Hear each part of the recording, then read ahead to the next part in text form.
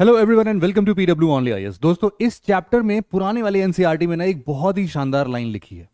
वो लाइन है कि the literate of twenty first centuries are not those who can not read or write but are those who can not learn relearn and unlearn बहुत ही बड़ी बात है और मुझे पर्सनली बहुत ही ज़्यादा पसंद है ये लाइन सच में आज वो बात नहीं है। आज हमने अभी तक इस जोग्राफी या ह्यूमन जोग्राफी के पोर्शन में हमने क्या पढ़ा भाई? हमने प्राइमरी एक्टिविटीज़ के बारे में बात किया, हमने सेकेंडरी एक्टिविटीज़ के बारे में बात किया। इन सब तरीके से आपको समझ में आ रहा है कि जैसे जैसे हमारी एक्टिविटीज़ की डिग्री बढ़ती जा रही है, पहले प्राइमरी फिर सेकेंडरी और आज हम लोग टर्शरी पढ़ेंगे। इन सभी जगहों पर हम लोग का जो प्रोफिशियंसी है, जो नॉलेज है, जो स्किल है, वो धीरे धीरे धीरे धीरे इंक्रीज करता जा रहा है। और आपको आज का ये चैप्टर पढ़ के रियलाइज़ भी हो जाएगा। आज के इस चैप्टर में हम लोग अपना चैप्टर नंबर सेवन कवर करेंगे। मेरे एनसीईआरटी के हिसाब से, आपकी एनसीईआरटी के हिसाब से शायद ये चैप्टर सिक्स होगा। चैप्टर फोर में एक छोटा सा डेवलपमेंट ह्यूमन डेवलपमेंट का जो चैप्टर था, वो शायद मेरे में एक्स्ट्रा दिया हुआ था, वो मैंने बिल्कुल लेटेस्ट सोर्सेज के हिसाब से आपको पढ़ा दिया है। फ़िलहाल, मैं आपको ये बताना चाहता हूँ कि अभी तक जो हम लोग के मन में एक सर्विसेज़ के नाम से सर्विसेज़ के नाम से एक मिसकंसेप्शन बना हुआ है, उसको सबसे पहले क्लियर करता हूँ मैं। भाई, आज का बोर्ड थोड़ा छोटा है मेरा, है ना? हो सकता है कि आपको रियलाइज़ हो ना हो बट पता नहीं क्यों ऐसा लग रहा है मुझे। ये काफ़ी छोटा, मैं लिख रहा हूँ तो मुझे लग रहा है खत्म हो जाएगा तुरंत के तुरंत ही। ठीक है? कोई बात नहीं है। तो मैं आपको बताता हूँ कि ये मिथ क्या है एक्चुअल में। ये मिथ देखो बच्चों सर्विसेज़ के नाम पर जब भी हम लोग देखते हैं ना, हम लोग को लगता है कि यार सर्विसेज़ का मतलब क्या है? डॉक्टर लॉयर्स या फिर हम लोग जब हाईटेक कंपनीज़ में जाते हैं तो वहाँ पर सर्विसेज़ लेते हैं, बाल कटाने जाते हैं तो वहाँ पर सर्विसेज़ लेते हैं। इन सर्विसेज़ में हम लोग को कहीं पर भी गुड्स का रोल नहीं दिखता है है ना? और यहीं पर हम मिस कर देते हैं बहुत सारी चीज़ें। अगर मैं आपसे बोलूँ कि भाई एक काम करो, ये पेन लेके आओ, है ना? ये पेन लेके आओ। तो आप क्या करोगे कि अरे सर, ये तो गुड्स है, ये टर्शरी में नहीं आएगा, है ना? यही तो बोलोगे आप। लेकिन जरा इस बात को समझो कि इसको खरीदने जाओगे कहाँ पे? कहाँ जाओगे? किसी रिटेल शॉप पर जाओगे? एक ही पेन तो चाहिए खुद के इस्तेमाल के लिए। ये रिटेल शॉप क्या है? ये रिटेल शॉप एक्चुअल में आपके लिए टर्शरी एक्टिविटी का काम कर रहा है। अब सोचो कि अगर हमें ये रिटेल शॉप्स ना मिलते तो हमें लगता सो के उठते ओ हो हो हो ब्रश खत्म है मेरा टूथ ब्रश खत्म है टूथपेस्ट भी नहीं है। आज तो यार हिंदुस्तान लीवर कंपनी जाना पड़ेगा अपने को। कितना बज गया भाई? ओहो, दो घंटे का रास्ता है यहाँ से तो। और किसी के पता चला, आसपास में हिंदुस्तान लीवर कंपनी ही नहीं है। इनफैक्ट आप किसी भी कंपनी का ले लो, उसके कंपनी में जाके आप टूथपेस्ट टूथब्रश थोड़ी ना खरीदते हो। फिर थोड़ा सा लगा अरे यार नाश्ता बनाने के लिए यार दूध चाहिए दूध चाहिए चलो अगर आप गाँव से बिलोंग करते हो तो कोई आ, कोई भी आपका जो दूध वाला है वो आके आपको दूध दे जाएगा। लेकिन अगर मान लो शहरों में रह रहे हो तो यार अमूल का दूध चाहिए था अपने को तो अमूल का दूध अरे यार तो गुजरात जाना पड़ेगा भाई। गुजरात के लिए ट्रेन पकड़ के जाऊँगा कि फ़्लाइट पकड़ के जाऊँगा या फिर अपनी कार से जाऊँ या स्कूटी से चला जाऊँ? क्या करोगे बताओ? ऐसे दुविधाएँ आई कि नहीं? ये सारे गुड्स ही तो हैं लेकिन एक्चुअल में ये मिलते कैसे हैं हमें? ये मिलते हैं हमें रिटेल शॉप से। रिटेल शॉप क्या है अपने आप में? एक टर्शरी एक्टिविटीज़ है। तो टर्शरी एक्टिविटीज़ हमेशा और हमेशा सिर्फ़ और सिर्फ़ सर्विसेज़ से रिलेटेड नहीं होती हैं। ये हमेशा ट्रेड्स एंड सर्विसेज़ से रिलेटेड होती हैं, ठीक है? तो आज के टाइम पर जब हम लोग ट्रेड पढ़ेंगे तो ट्रेड जो है, वो ट्रेड जो है, वो आपके दोनों पोर्शन से हो सकता है। ये ट्रेड आपका गुड्स का भी हो सकता है और ये ट्रेड आपके सर्विसेज़ का भी हो सकता है। तो अब ये आपके ऊपर है। कि आप इसको कैसे सोचते हो, समझते हो। तो आई होप आपको थोड़ा सा इंसाइट मिला होगा। हम लोग चलते हैं आज के अपने चैप्टर में। ये वाला पेन अच्छा नहीं है भाई। सस्ता है लग रहा है। इस वाले पेन से लिखता हूँ। इससे राइटिंग थोड़ी सही बन रही थी। ठीक है। आज के टॉपिक को अगर मैं लिखता हूँ तो आपका चैप्टर नंबर सेवन है। चैप्टर सेवन है। ये है आपका tertiary and quaternary activities I hope आप इन दोनों ही टर्म से अभी तक भली भांति परिचित थे, लेकिन आई नो कि आपको आज के टाइम पर जब ये चैप्टर आप पढ़ के खत्म करोगे तो आपको बहुत सारे नए इंसाइट्स मिलेंगे, नए तरीके से सोचने का मौका मिलेगा। तो इस चैप्टर में मोटा मोटा सबसे पहले हम लोग यही समझते हैं कि भाई देखो बेसिक्स क्या है? मतलब बेसिक्स अंडरस्टैंडिंग ये जो हम बात कर रहे हैं, ये टर्शरी एक्टिविटीज़ क्या होते हैं? बेसिक्स ऑफ़ टर्शरी एक्टिविटीज़ इसके बाद हम लोग टर्शरी एक्टिविटीज़ के टाइप्स के बारे में पढ़ेंगे। Types of tertiary activities types of tertiary activities में मोटे मोटे ऐसे तीन चार टाइप्स हैं। सबसे पहला है ट्रेड एंड कॉमर्स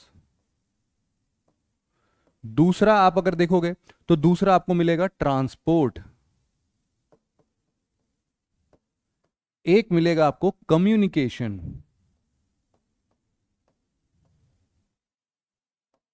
और एक और बचता है आपका कम्युनिकेशन के बाद आपका एक और बचता है और ये है आपका सोर्सेस सॉरी सर्विसेज़ जिसके बारे में हम लोग हमेशा बात करते हैं, है ना? और हमें लगता है कि सिर्फ़ यही और यही टेरिशरी एक्टिविटी है, लेकिन उसके अलावा ये तीन बड़े सेक्टर्स अभी आज आपको पता चलेंगे। इसके बाद हम लोग ये देखने की कोशिश करते हैं कि भाई इस पूरे पोर्शन में इन्वॉल्व कौन कौन है? People involve in tertiary activities और इसके बाद हम लोग कुछ पोर्शन पढ़ेंगे अपने क्वार्टरनरी एक्टिविटीज़ का। और कुछ पोर्शन पढ़ेंगे हम लोग क्वीनरी एक्टिविटीज़ का।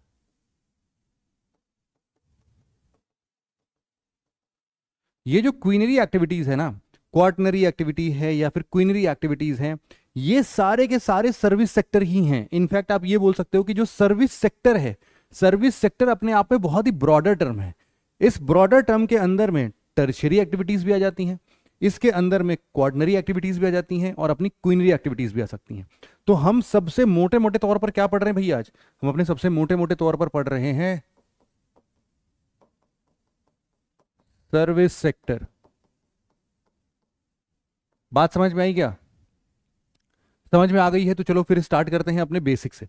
बेसिक्स में बहुत सारे ऐसे एग्जाम्पल्स की हम बात करेंगे। अच्छा ये भी आ गया। ठीक है भाई। मतलब ये सिंपल सा एक इन्फॉर्मेशन है कि जो भी लोग इस लेक्चर को देख रहे हैं और अगर उनको चाहिए कि भाई कुछ अपने से बातचीत हो जाए और कुछ डाउट्स हैं इस चैप्टर को लेके तो आप डायरेक्टली यहाँ पर आइए। यहाँ पर बहुत सारे अच्छे क्वेश्चंस की मैं प्रैक्टिस स्टार्ट करवा चुका हूँ। आप लोग भी उन क्वेश्चन में पार्टिसिपेट करिए, दिमाग का दरवाज़ा खोलिए और अच्छे से मेहनत कीजिए। ठीक है? और कोई डाउट है तो डेफिनेटली यहाँ पर आप पूछ सकते हैं। फिर हम बात करते हैं आज के सबसे पहले टॉपिक की बेसिक्स की बात करते हैं हम लोग, है ना? बेसिक्स लिखता हूँ। बेसिक्स ऑफ़ टर्शियरी एक्टिविटीज़ अब इसको समझने की कोशिश करना। हम लोगों ने अभी तक, चलो अच्छा बताओ जरा। हम लोगों ने प्राइमरी पढ़ा था क्या? प्राइमरी एक्टिविटीज़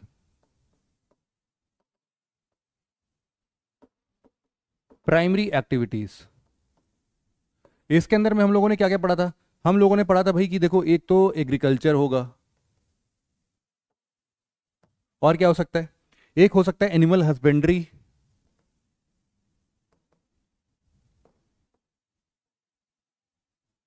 इसी के साथ साथ हम लोगों ने मिक्स्ड फ़ार्मिंग फिशरीज और हम लोगों ने मिनरल एक्सट्रैक्शन पढ़ा था। है ना? अरे, ये क्या आ गया भाई? छू मंतर हो जाए भाई। हाँ। हम लोगों ने इतनी सारी चीज़ें तो पढ़ रखी थी। और जब हम लोग सेकेंडरी एक्टिविटीज़ पर आए तो सेकेंडरी एक्टिविटीज़ पर क्या चीज़ें हम लोगों ने पढ़ी थी भाई? सेकेंडरी एक्टिविटीज़ में हम लोगों ने बेसिकली मैन्युफैक्चरिंग इंडस्ट्रीज़ को देखने की कोशिश की थी, है ना? इसी पर लिखता हूँ कि अगर हम लोग सेकेंडरी की बात करें तो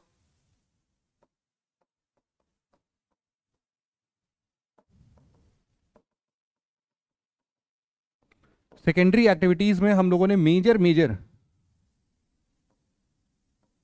पिछले क्लास की तो बात है। मैन्युफैक्चरिंग की बात की थी और किसकी बात की थी हम लोगों ने? हम लोगों ने फ़ूड या फिर फ़ूड प्रोसेसिंग की भी बात की थी ना साथ में। फ़ूड प्रोसेसिंग की बात कर लो। इसमें हम लोगों ने कंस्ट्रक्शन uh, कंस्ट्रक्शन की बात तो नहीं की थी बट हाँ कंस्ट्रक्शन वाला भी आप इसमें लेके आ सकते हैं। और इसमें मतलब कोई भी ऐसा प्रोसेसिंग यूनिट हो जो कि हमारे प्राइमरी एक्टिविटीज़ वाले प्रोडक्ट को इसमें कुछ तब्दील करके दे दे। तो यहाँ पर हम लोग बोल सकते हैं कि भाई मैन्युफैक्चरिंग के साथ साथ कोई भी प्रोसेसिंग यूनिट हो है ना? ये सब हम लोगों ने देख लिया था। और तीसरे नंबर पर मैं यहाँ पर लिखता हूँ टर्शियरी एक्टिविटीज़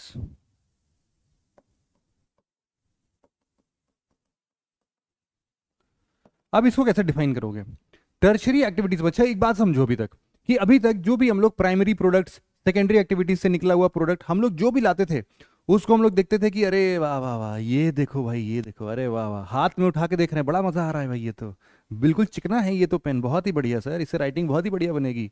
ये क्या प्रोडक्ट है जिसको हम लोग हाथ में उठा सकते हैं, देख सकते हैं? अच्छा ये है भाई, वो इसके बदले मैंने डेढ़ सौ रुपये दिए थे। यार ये नॉर्मल पेन नहीं है यार, डेढ़ सौ रुपये वाला, ये बोर्ड पे लिखता है, वो वाला पेन इसलिए महँगा है। तो इसके लिए मैंने डेढ़ सौ रुपये दिए थे। अच्छा अच्छा ठीक है भाई, समझ में आ गया।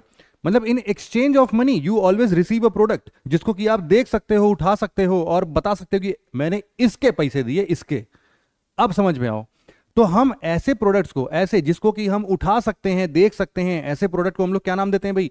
ऐसे प्रोडक्ट को हम लोग नाम देते हैं, ऐसे प्रोडक्ट को हम लोग नाम देते हैं टैंजिबल प्रोडक्ट्स है ना? इनको हम ऐसा लिख सकते हैं कि भाई ये क्या है हमारे लिए? टैंजिबल है। लेकिन ऐसी बहुत सारी चीज़ें होती हैं जिसका कि हम पैसे तो देते हैं, लेकिन उसके बदले में हम लोग को कोई ऐसा ऑब्जेक्ट नहीं मिलता है, कोई ऐसा गुड्स नहीं मिलता है, या फिर ऐसा कुछ, हम बोल सकते हैं ऐसा कोई प्रोडक्ट नहीं मिलता है। मिल भी सकता है और नहीं भी मिल सकता, दोनों तरीके हैं। समझो इस चीज़ को। जैसे मान लो कि आप, मान लो कि आप एक एक पर्सन लेते हैं, है ना? एक पर्सन लेते हैं महेश। ये जो महेश है, ये ना धांधलेबाज इंसान है। एक नंबर का धांधलेबाज इंसान है। इसने क्या किया? एक जगह से चोरी कर ली। और पुलिस इसको पकड़ने आई तो ये किसके पास भागा? दौड़ के, एडवोकेट के पास। एडवोकेट से इसने क्या लिया भाई? इसने इंटर्न इनसे लिए एडवोकेट से दो बड़ी चीज़ें। एक सलाह और या फिर इसी को परामर्श कह दो। जब ये दोनों चीज़ें मिली ना तो ये उठ के जाने लगा महेश। एडवोकेट ने कहा, ओ भैया महेश, कहाँ? इधर आओ। जेब ढीली करो थोड़ा। एक हरी पत्ती निकाल के दो। अब तो हरी पत्ती का जमाना भी नहीं है, बोले लाल पत्ती निकाल के दो। है ना? दो हज़ार की नोट देनी पड़ी महेश बाबू को। ये काहे का पैसा दिया? महेश के हाथ में तो कोई सामान ही नहीं लगा। लेकिन ये जो था, ये, इसके पैसे लगे हैं, है ना? ये क्या है एक तरीके का? एक तरीके का सर्विस है। इस सर्विस के बदले आपको क्या देना पड़ा? पेमेंट या फिर पेमेंट ना देके इसको फ़ीस बोल दो, कुछ भी बोल दो। तो हम ऐसा बोल सकते हैं कि भाई टर्शरी एक्टिविटीज़ मतलब क्या? टर्शरी एक्टिविटीज़ मतलब any service any service against which a payment is made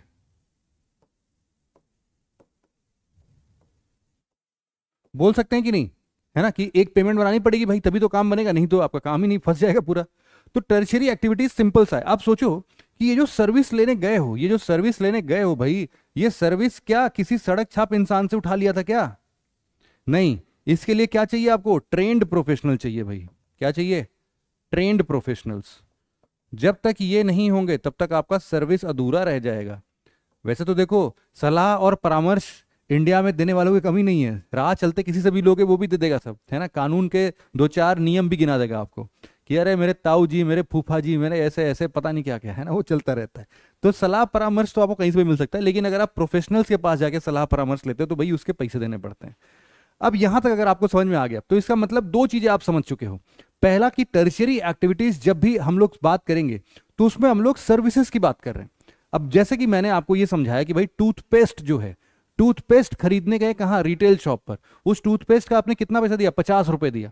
तो आपने बोला, सर, पचास रुपए मैंने दिया, लेकिन उसके अगेंस्ट मेरे को प्रोडक्ट मिला, जिसको मैं उठा सकता हूँ, देख सकता हूँ। अब बोलो, क्या बोल रहे थे आप? तो मैं बोलूँगा, भाई, एक बात बता ये पचास रुपए क्या सारे के सारे सर्विस के दिए तुमने? नहीं। ये जो पचास रुपए है ना, इसमें दो पार्ट टूट के देखो।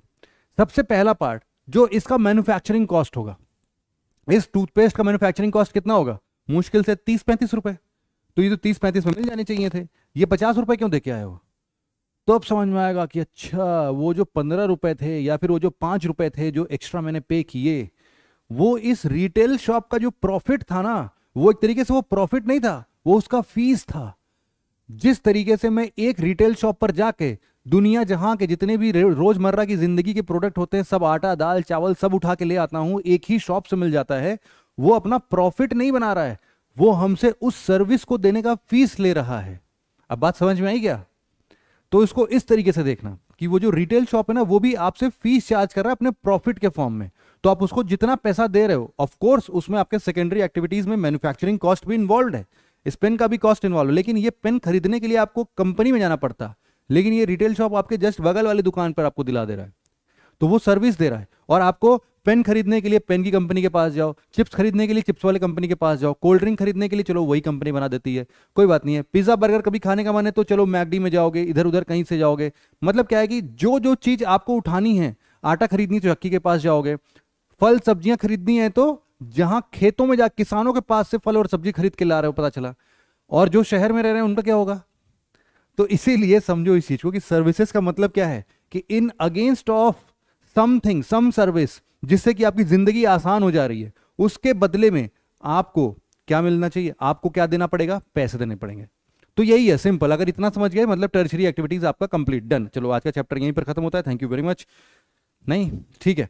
हम लोग थोड़ी सी और बात कर लेते हैं।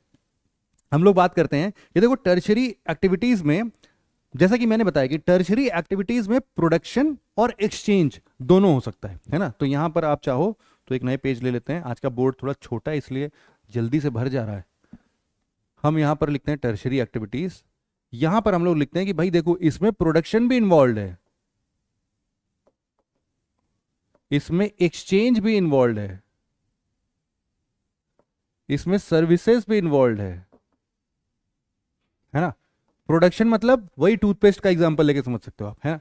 तो इस तरीके से अब आप पूरे सम, पूरे चीज़ को ऐसा समझो कि आउटपुट जो भी मिल रहा है हमें आउटपुट जो भी मिल रहा है वो कॉम्बिनेशन है सब चीज़ का है ना?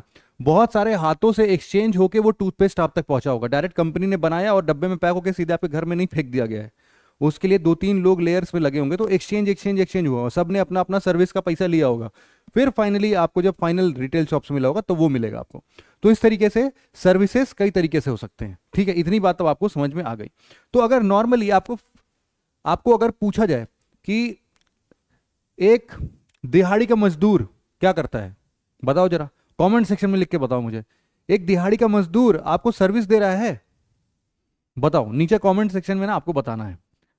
कि है कि नहीं है सर्विस सेक्टर है कि नहीं, उसको हम लोग कैसे ट्रीट करते हैं, क्या वो अपनी सर्विस हमें दे रहा है क्या? ठीक है, अब समझो इस चीज़ को कि यहाँ पर जब भी हम लोग बात कर रहे हैं तो हम लोग किसकी किसकी बात कर रहे होंगे भाई? देखो, हम लोग बात कर रहे होंगे डॉक्टर्स की, हम लोग बात कर रहे होंगे इंजीनियर्स की एडवोकेट्स की, या फिर ट्रैवल एजेंसीज की। मतलब कि टूरिस्ट इंडस्ट्रीज़ की, या फिर सेक्टर लिख देते हैं।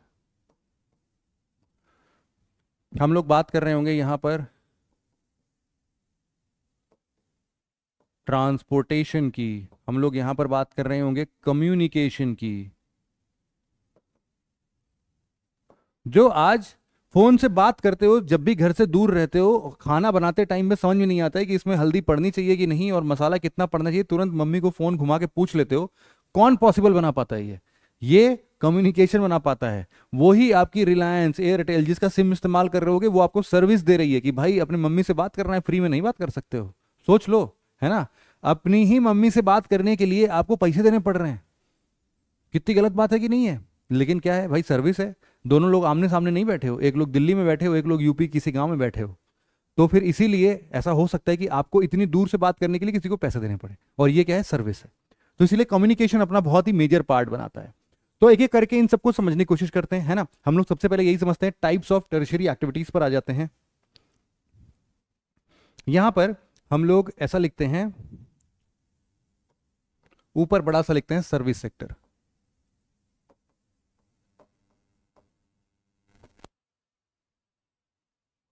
और इसमें हम लोग सबसे पहले क्या बात कर लें? टर्शरी एक्टिविटीज़ की।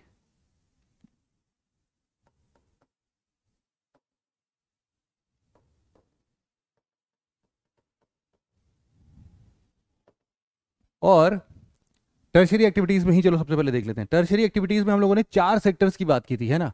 सबसे पहले हम लोगों ने क्या बोला था? ट्रेड एंड कॉमर्स चलो भाई, इसको भी लिखते चलो, फटाफट से लिखते चलो आप लोग। सबसे पहले हम लोगों ने क्या बोला था भाई? Trade and commerce. अब ट्रेड एंड कॉमर्स की जब भी हम लोग बात करते हैं तो हमसे ना एक सवाल ज़रूर पूछा जाएगा कि जो भी प्रोडक्ट वगैरह खरीदने जा रहे हो, एक बात बताओ, अपने कंजम्पशन के लिए आप खरीदना चाहते हो, या फिर इसको दोबारा किसी और को बेच दोगे? है ना? ये बात आएगी कि नहीं आएगी? कि अपने कंजम्पशन के लिए खरीदोगे तो यार हम रिटेल वाले चेन में इसको डालेंगे, और अगर गलती से किसी दूसरे को बेच दोगे तो हम होलसेल में डालते हैं इसको। तो इसीलिए ये जो trades and services sorry trades and commerce की बात हो रही है, ये आपसे पूछा जाएगा कि भाई एक बात बताओ, ये आपका ये आपका होलसेल ट्रेड है?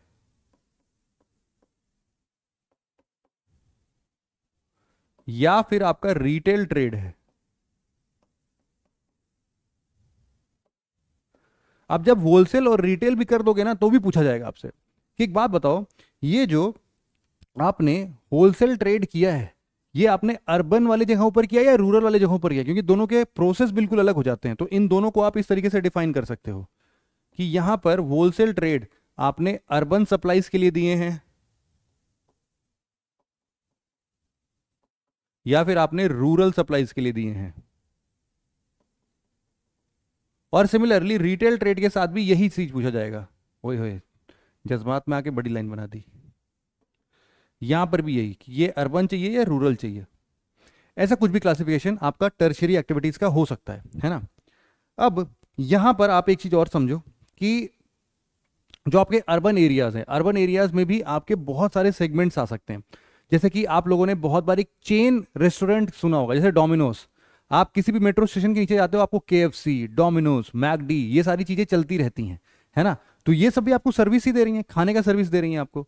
तो इसीलिए अर्बन कंपनीज़ में एक एक्स्ट्रा आता है चेन सप्लाई है क्या? है ना? अर्बन सप्लाईज में ये जो है, ये क्या चेन सप्लाई है?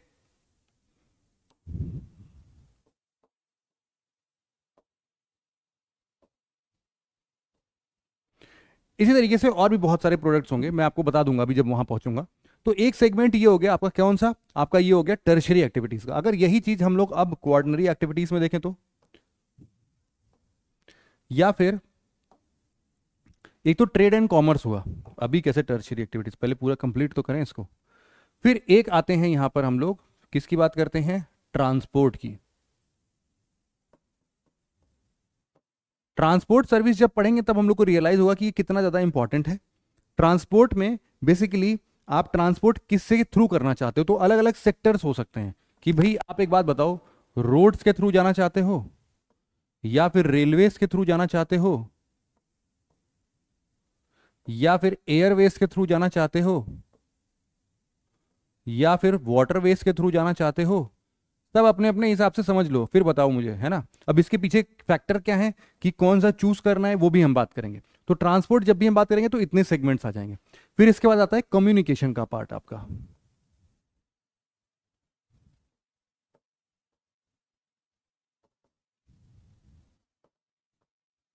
कम्युनिकेशन अब इस कम्युनिकेशन में हम लोग क्या देख सकते हैं?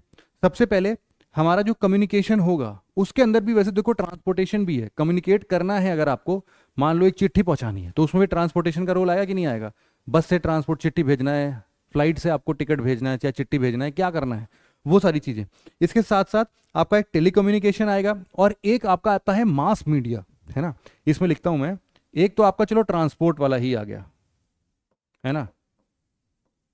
और एक आपका आएगा ट्रांसपोर्ट के साथ साथ जिसमें हम लोग टेलीकम्युनिकेशन की बात कर रहे होंगे।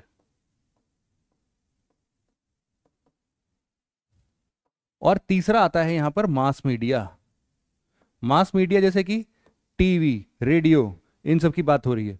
इस पे कोई भी, आप एक भी मैसेज को ब्रॉडकास्ट करा सकते हो कम्युनिकेट करने के लिए, एकदम तेज़ी से स्प्रेड कर जाएगा, आग के तरीके से फैल जाएगा, है ना? तो एडवर्टाइजिंग एजेंसीज और ये सारी चीज़ें जो आती हैं, वो मास मीडिया के अंदर में आ जाती हैं। कम्युनिकेशन के बाद हमारा लास्ट जो आता है इसमें, वो आता है हमारा सर्विस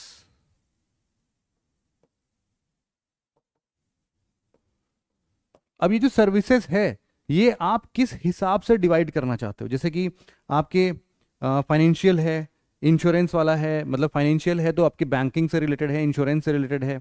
इसके बाद अगर आपका मेडिकल इश्यूज़ है तो हेल्थ से रिलेटेड है एजुकेशन से रिलेटेड है, या फिर आपके मतलब किसी भी पर्सनल या प्रोफेशनल यूज़ के लिए है तो ऐसे बहुत सारे मतलब डिफरेंट तरीके से आप इसको डिफाइन कर सकते हो वैसे तो। आप इसको ऐसे लिख लो कि सबसे पहले आपके क्या हेल्थ सर्विसेज़ हैं? क्या आपका एजुकेशनल सर्विस है? या फिर आप किसी भी पर्सनल या प्रोफेशनल सर्विस की बात कर रहे हो, है ना? तो ये मतलब डेफिनेटली इस तरीके से भी इसको डिफाइन कर सकते हो सर्विसेज़ को डिफाइन करने के और भी कई सारे तरीके हो सकते हैं। अब यहाँ पर इसके बाद, अब इस बोर्ड में तो जगह नहीं है, लेकिन यहाँ पर मैं आपको बताना चाहता हूँ कि भाई इसी के साथ साथ इस सर्विस सेक्टर में ही आपके क्वार्टनरी भी आते हैं और इसी में आपके कौन आते हैं? क्वीनरी। ठीक। तो क्वार्टनरी और क्वीनरी सेक्टर दोनों को एक बार हम लोग अभी थोड़ा देर बाद वापस से यहीं पर आके पढ़ लेंगे या फिर इसको थोड़ा सा इरेज करके फिर दोबारा से लिख लेंगे। तो इतना मोटा मोटा क्लासिफिकेशन अगर आपको पता है ना तो आप काफ़ी चीज़ें समझ सकते हो अभी यहाँ पे। सबसे पहले हम लोग इसीलिए बात करते हैं अपने ट्रेड एंड कॉमर्स के ऊपर। ट्रेड एंड कॉमर्स सबसे पहला टॉपिक लिखता हूँ मैं यहाँ पर।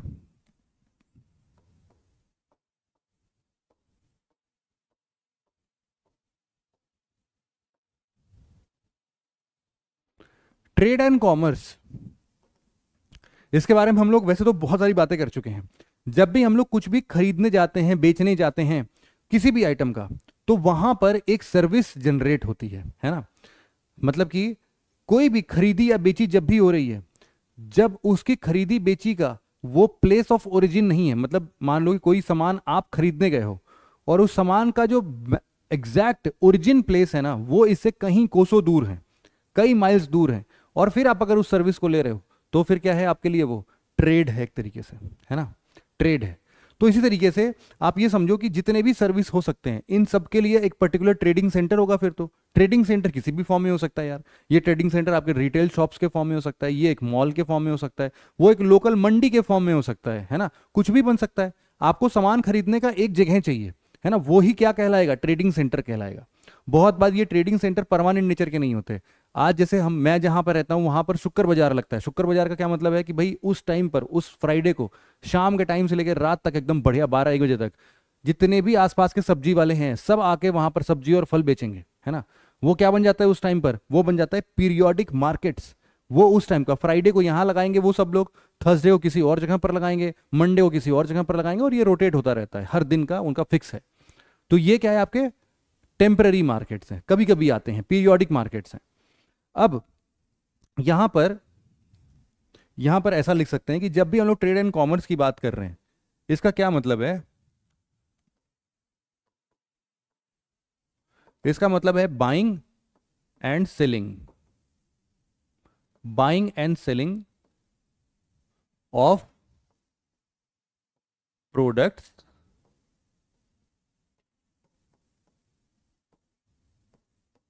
produced elsewhere. है ना? कहीं और कहीं और बना हुआ था, लेकिन बस उसको अब यहाँ पर हम खरीद रहे हैं। और इनको बेच भी सकते हैं, कुछ भी हो सकता है। ओला ओला नहीं ओ एल पर होता है ना, कुछ भी सामान बेच डालो अपना। टूटे फर्नीचर है, बेच डालो। कुछ भी चीज़ टूटी हुई है, बेच डालो। तो ओ क्या दे रहा है आपको? सर्विसेज़ दे रहा है। है ना? वहाँ पर, जहाँ पर आपका सामान पड़ा होगा, कोई आएगा, लेके चला जाएगा। अच्छा एक क्वेश्चन मैं आप लोगों से पूछना चाहता हूँ कि यार चलो उसे सर्विसेज़ सेक्टर में उसको पूछूँगा। जब सर्विसेज़ पढ़ाऊँगा उसको स्पेशली तब बताऊँगा मैं आपको। यहाँ पर ट्रेड एंड कॉमर्स में अब जैसा कि हम लोगों ने बता मतलब हम लोगों ने पढ़ा कि भाई it requires it requires a trading centre क्या मिलेगा इसमें? क्या होना चाहिए? ट्रेडिंग सेंटर होना चाहिए, है ना? अब ये ट्रेडिंग सेंटर कैसा हो सकता है भाई? ये ट्रेडिंग सेंटर इस बात पर डिपेंड करता है कि आपका ये ट्रेडिंग सेंटर या मार्केटिंग सेंटर आप कुछ भी बोल सकते हो, ये जो ट्रेडिंग सेंटर है, ये कैसा होगा? या तो आपका ये रूरल मार्केटिंग सेंटर बन जाएगा, या फिर ये आपका अर्बन मार्केटिंग सेंटर बन जाएगा।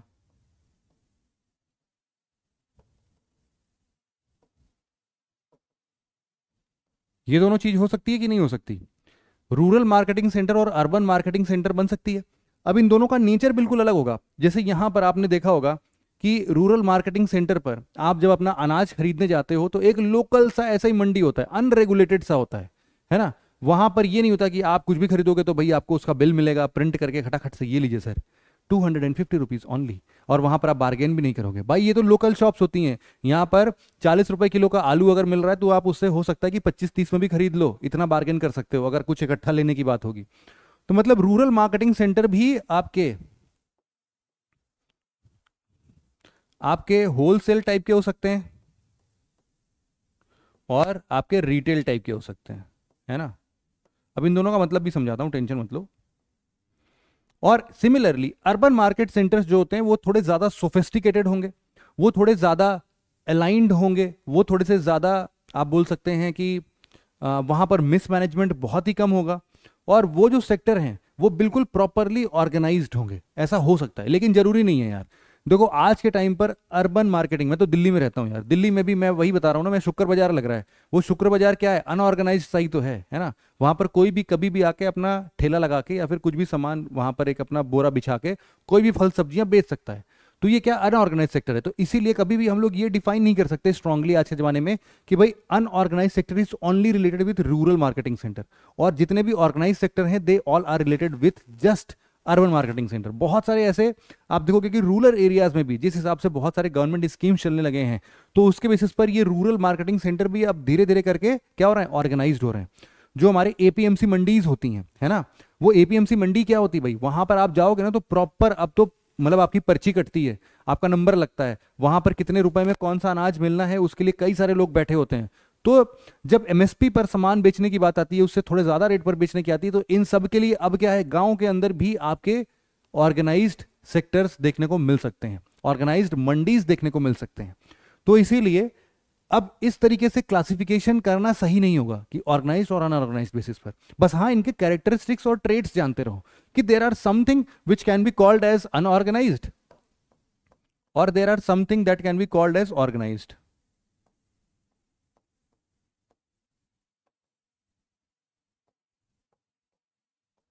है ना? इसी में एक कॉन्सेप्ट और आता है जिसका नाम हम लोग बोलते हैं कि ये क्या है भाई? ये आपके पीरियोडिक मार्केट्स हैं। ये तो रूरल रूरल मार्केटिंग सेंटर हो गया और एक अर्बन मार्केटिंग सेंटर हो गया। अब इस तरीके से एक पीरियोडिक मार्केट होता है।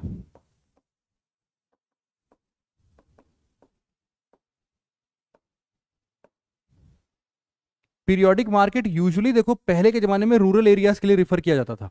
ये क्यों किया जाता था? क्योंकि एक गाँव में अगर कोई एक शॉपकीपर अपना दुकान खोल के बैठ जाए, वो सर्विसेज़ वहाँ पर देने लगे तो यार उसका भरण पोषण नहीं हो पाता था। लोग सामान खरीदने आते, एक आधे दिन, फिर बाकी दिन आते ही नहीं। तो वहाँ पर ये हुआ कि यार अब हफ़्ते में ना एक ही दिन चलेंगे वहाँ पर। जिसको जिसको भाई अनाउंस कर दिया, जिसको जिसको अपने हफ़्ते भर का सामान चाहिए, वो इस दिन मंडे को आओ और सारा सामान लेके जाओ भाई। इसके बाद मैं दूसरी जगह कहीं सामान लगा दूँगा। तो ये पीरियोडिक मार्केट्स जो होते हैं, ये इसी तरीके से, ये भी होलसेल रिटेल दोनों शेप के हो सकते हैं। तो ये पीरियोडिक मार्केट इस तरीके से डिफाइन हो सकते हैं, ठीक है?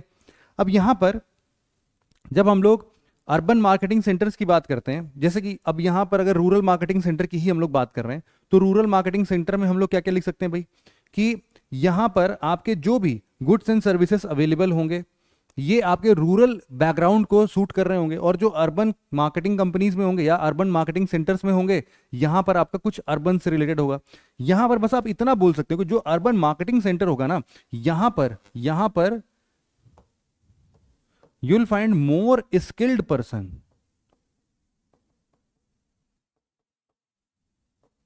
और रेदर देन प्रोफेशनल्स क्यों? क्योंकि यहाँ पर अर्बन मार्केटिंग सेंटर पे लोगों की पेइंग कैपेसिटी ज़्यादा होती है और ये पेइंग कैपेसिटी जितनी ज़्यादा होगी, यहाँ पर हम उतने अच्छे प्रोफेशनल्स को रख सकते हैं। अब आप खुद ही सोचो कि यहाँ पर लोग पाँच दस रुपए का सामान खरीदने आ रहे हैं, वहाँ पर आप एक लाख रुपए सैलरी वाला, जो मंथली एक लाख रुपए सैलरी लेता है, उस पर्सन को आप खड़ा करके दस दस रुपए का सामान कितना बिचवा दोगे? यहाँ पर तो डिमांड भी कम है, शहरों में तो डिमांड भरपूर है। और इसके लिए दस रुपए नहीं, अब इसको सौ, डेढ़ सौ रुपए मिल रहे हैं। उसके लिए एक लाख रुपए महीने का आप इंसान चलो, फिर भी अफोर्ड कर सकते हो। तो यहाँ पर नहीं कर सकते हो। इसलिए यहाँ पर आपको ज़्यादा स्किल्ड और प्रोफेशनल्स लोग मिलते हैं।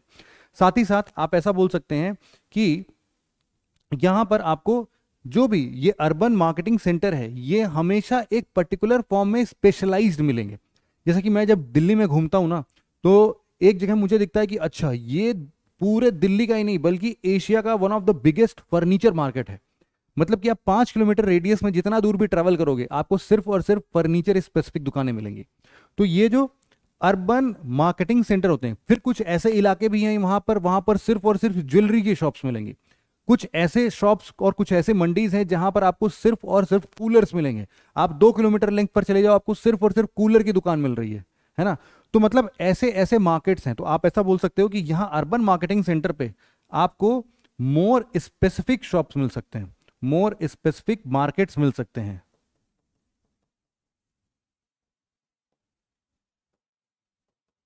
एग्ज़ाम्पल के तौर पर अगर आप भूल ना जाओ तो लिख लेना इसको फर्नीचर मार्केट कूलर मार्केट इनसे रिलेटेड कुछ भी। तो इनके लिए ना एक स्पेसिफिक प्लेस डिफाइन कर देंगे। और यही रूरल मार्केट में क्या होता है यार, आप अगर रूरल एरिया से बिलोंग करते हो तो आपको पता चल जाएगा कि यार वहाँ पर भी एक डिफाइंड प्लेस है, लेकिन वहाँ पर ऐसा कुछ डिस्टिंक्शन नहीं है। वहाँ पर एक बड़ी सी मंडी है, वही दो चार दुकानों पर कूलर भी बिक रहा होगा, उसी के बगल में जाओगे, आपको दो चार दुकानों पर फर्नीचर भी मिल जाएगा, उसी के दो चार अगल आगे वाली दुकान पर जाओगे तो शायद आपको अपने रोज़मर्रा की ज़िंदगी के जो भी आटा, दाल, चावल, तेल होता है, वो सब भी मिल जाएगा। तो एक छोटा स्पेस है, और यहाँ पर आप ऐसा समझ सकते हो। इन बेसिक डिफरेंसेस को अगर आप समझ गए हो तो हम क्या करते हैं? एक एक करके इनको पढ़ना स्टार्ट करते हैं। सबसे पहले हम लोग बात करते हैं रिटेल ट्रेडिंग की, है ना? लिखता हूँ मैं यहाँ पर।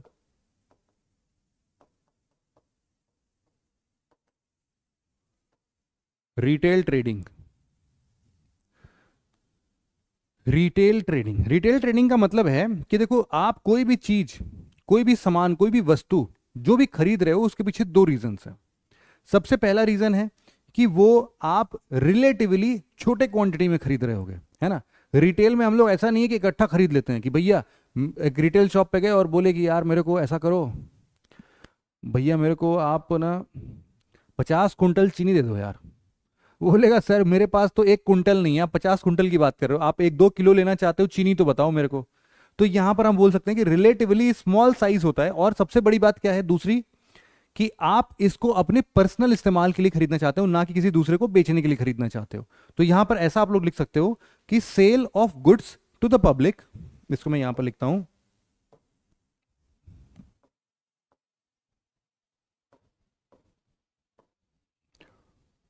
Sale of goods to the public अब यहाँ पर दो चीज़ें। सबसे पहला इन रिलेटिवली स्मॉल क्वांटिटी बात सही है? और for personal use and not for resale है ना? ये कैसी बात होगी? रिटेल ट्रेडिंग की बात होगी। अब रिटेल ट्रेडिंग में आप लोग क्या क्या चीज़ें खरीद सकते हो? आपकी रोज़मर्रा की ज़िंदगी जो होती है आपके पर्सनल प्रोफेशनल यूज़ के लिए जो भी चीज़ें चाहिए होती हैं इनके अलावा छोटे छोटे चीज़ें जैसे कि आप कभी स्ट्रीट्स पर जा रहे हैं तो स्ट्रीट्स पर आपके बहुत सारे सामान मिल गए कुछ खाने पीने का सामान मिल गया आपके लिए या फिर कुछ सजावट का सामान मिल गया। इन सब चीज़ों से आप बोल सकते हैं कि जो आपके नॉर्मली आप यहाँ तो आ, वो नहीं आता है बट बहुत बार ऐसा क्या होता है चलो यहाँ पर भी है अनऑर्गेनाइज सेक्टर है बस और क्या। अनऑर्गेनाइज सेक्टर में आप देखते होगे कि आपके घर के आसपास के इलाकों में को भी क्या होता होगा, धोबी बैठता होगा, है ना? तो वो आपकी वॉशिंग सर्विसेज़ का पूरा ध्यान रखता होगा कि आपके कपड़े हैं, वो बकायदा पूरे प्रेस हो जाएँ और आपके कपड़े धुल जाएँ। इन सब चीज़, वो क्या है भाई? सर्विस दे रहा है आपको, है ना? सर्विस पर्सन है, वो भी सर्विस करता है है ना? हमारे गाँव में ना ये चीज़ बड़ा ही डिफ्रेंशिएट होता है कि अगर आप बिज़नेस करो और अगर आप सर्विस कर रहे हो, है ना? तो शादी उदी में बड़ा पंगा आता है। लड़कियों की डिमांड आती है कि नहीं, मेरे को तो सर्विस करने वाला बच्चा चाहिए मतलब सर्विस करने वाला लड़का चाहिए। अरे, उनको पता नहीं है कि सर्विस किसको बोलते हैं। अदरवाइज़ वो ये बोलती नहीं। नहीं तो सर्विस करने वाला तो वो, हम लोग बोल सकते हैं कि यार, वो जो बंधुआ मजदूर है, वो भी सर्विस ही करता है भाई। है ना? वो जो आपके बगल में धोबी बैठता है, वो भी सर्विस ही करता है। उसकी आमदनी इतनी नहीं है जितनी आप सोच रहे हो। अगर आप एक हाई फाई क्लास के इंसान को इस सर्विस करता हुआ समझते हो तो वो आपकी गलत धारणा है, बदल दो। सर्विस का मतलब बहुत सारी चीज़ें हैं, है ना? तो इस तरीके से कॉमन सेंस का इस्तेमाल करना, आप लोग यूपीएससी के बच्चे हो, ऐसे मत कर देना। अब यहाँ पर हम लोग एक तरीके से बात कर रहे थे, अपने चेन स्टोर्स की भी बात कर रहे थे, है ना? तो चेन स्टोर्स में रिटेल शॉप्स में चेन स्टोर्स भी हो सकते हैं। तो यहाँ पर आप, वैसे तो देखो, इसमें और भी चीज़ें अगर आपको लिखनी है तो ऐसा लिख सकते हो आइटम्स लिख सकते हो यहाँ पर। यहाँ पर आपके हैंडीक्राफ्ट आइटम्स यहाँ पर आपका कोई भी ज्वेलरी शॉप्स हो सकते हैं। Jewellery items. फिर इसके बाद आपका कोई भी घर के सजाने का जो होता है ना, उनको क्या बोलते हैं? रिक्रिएशनल कुछ भी बोल दो आप। और यहाँ पर कोई भी daily use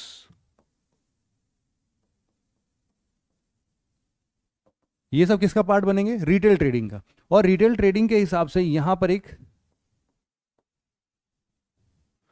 chain chain market या फिर चेन ट्रेडिंग होती है। ये जो चेन ट्रेडिंग है, यहाँ पर क्या होती है? जैसा कि हमने बताया कि भाई देखो, इस इस तरीके से जो भी हमारे चेन ट्रेडिंग या चेन स्टोर्स बोल लो आप लोग तो ये जो ऐसे चेन स्टोर्स होते हैं, ये आपको क्या प्रोवाइड करते हैं भाई? ये आपको ऐसे ही सर्विसेज़ देते हैं, लेकिन आपको ना ये सर्विसेज़ कहीं पर भी मिल जाएगा। एग्ज़ाम्पल के तौर पर मैं बताता हूँ, जैसे कि एक एग्ज़ाम्पल के तौर पर मैं आपको दे रहा हूँ कि एक डेंटिस्ट है, ना सिर्फ़ दिल्ली में, और भी बहुत सारी जगह पर होता है, उसका नाम है क्लोव। क्लोव डेंटिस्ट ये क्या है इसका चेन स्टोर है? आप दिल्ली के किसी भी छोटे से कस्बे में जाओगे ना, आपको मिल जाएगा, है ना? तो आप यहाँ पर कहीं पर भी different places in Delhi in and outside Delhi और ये क्या कर रहे हैं? ये आपको डेंटिस्ट वाली सर्विसेज़ प्रोवाइड कर रहे हैं। दांतों में कोई भी पंगा है तो इनके पास जाओगे, वो सही करके दे देंगे।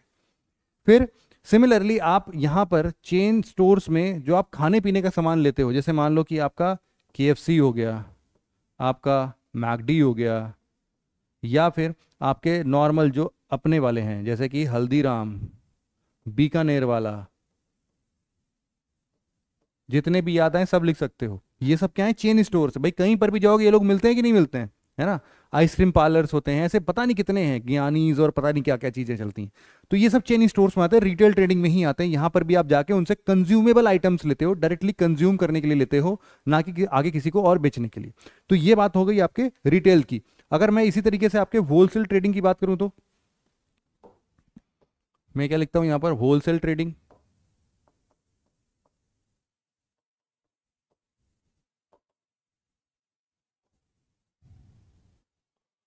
होलसेल ट्रेडिंग जैसे कि रिटेल ट्रेडिंग में हम लोग ये बात बोल रहे थे कि भाई अपने कंजम्पशन के लिए चाहिए। होलसेल ट्रेडिंग में हम लोग कोई भी सामान उठाते हैं तो अपने स्वयं के कंजम्पशन के लिए नहीं लगाते हैं, बल्कि उसको आगे और दूसरों को रिटेल फॉर्म में बेचने के लिए ले लेते हैं।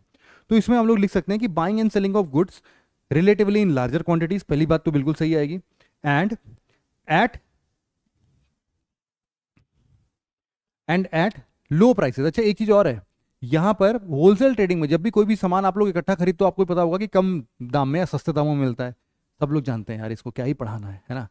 बंद कर देते हैं। ये सब आपको पता होगा। फिर इसके बाद आप फर्दर रिटेलर्स को बेच देते हो। तो अगर ऐसा हम कुछ भी बोलते हैं, हम ऐसा बोल देते हैं कि भाई देखो, इसका क्या मतलब है? Products and services products and services ये क्या होगी? रिलेटिवली लार्ज क्वांटिटी में होगी। साथ ही साथ यहाँ पर एट रिलेटिवली लो प्राइस होगा और साथ ही साथ to be again sold to retailers ये क्या कहलाएगा आपका? ये कहलाएगा होलसेल ट्रेडिंग होलसेल ट्रेडिंग यही सारी चीज़ें तो आएँगी आपकी, है कि नहीं? अब इसी में आपको, आप समझ लो कि सबसे बेस्ट एग्जांपल अगर मैं आपको देना चाहता हूँ, आप लोग कभी, उसको देखो, अली, अलीबाबा साइट पर गए हो Alibaba dot com Alibaba Chinese site है वैसे तो एकमात्र ऐसा साइट मुझे अभी तक मिला है जहाँ पर आप लोग जब भी कोई चीज़ खरीदने जाते हो ना तो आपसे पूछता है कि भाई मिनिमम कितना, कितने पीसेस चाहिए? सौ पीस चाहिए, हज़ार पीस चाहिए, दो हज़ार पीस चाहिए, पाँच हज़ार पीस चाहिए, उसके हिसाब से क्वांटिटीज अलग अलग होती हैं। और बहुत बार ऐसे भी शॉप्स होते हैं जो कि रिटेल और होलसेल एक ही साइड पर कर लेते हैं। तो ऐसे भी बहुत सारे मैंने वेबसाइट्स देखे हैं, जहाँ पर आपको कोई भी सामान 100 ग्राम भी मिल जाएगा और कोई भी सामान 50 के भी मिल जाएगा, है ना? तो वो आपके हिसाब से है कि आपका कितना यूज़ है। मान लो कोई भी एक छोटा, मान लो आपकी सब्जियों में एक मसाला पड़ता है इलायची, है ना? मान लो इलायची लेना है आपको तो अपने घर के कंजम्पशन के लिए कितनी इलायची ले लोगे? भाई महँगा सामान है वो। पचास ग्राम ले लोगे, बीस ग्राम ले लोगे, दस ग्राम ले लोगे तो ये भी मिलेगा। लेकिन अगर आप बोलोगे नहीं, मेरे को इलायची जो है, वो पच्चीस किलो चाहिए। तो 25 किलो इलायची भी वहीं पर मिल जाएगा। तो आज के टाइम पर ऐसे बहुत सारे कंपनीज़ हैं जो कि रिटेल और होलसेल ट्रेडिंग साथ में करते हैं। दोनों के प्राइसेस अलग अलग होते हैं, लेकिन हाँ ये बात है। होलसेल प्राइसिंग में जब भी आप लोगे तो लो प्राइसेस में लोगे। हमेशा। ये बिल्कुल फिक्स है, क्योंकि आप जब भी एक्स्ट्रा क्वांटिटी में सामान खरीदते हो तो आपको लो प्राइस में मिल जाता है। ठीक है, यहाँ पर हम लोगों ने ट्रेडिंग होलसेल ट्रेडिंग और ये सारी चीज़ें मतलब ट्रेड एंड कॉमर्स समझ लिया। अब इसी के बाद यहाँ पर एक हम लोगों ने पढ़ा था भाई transportation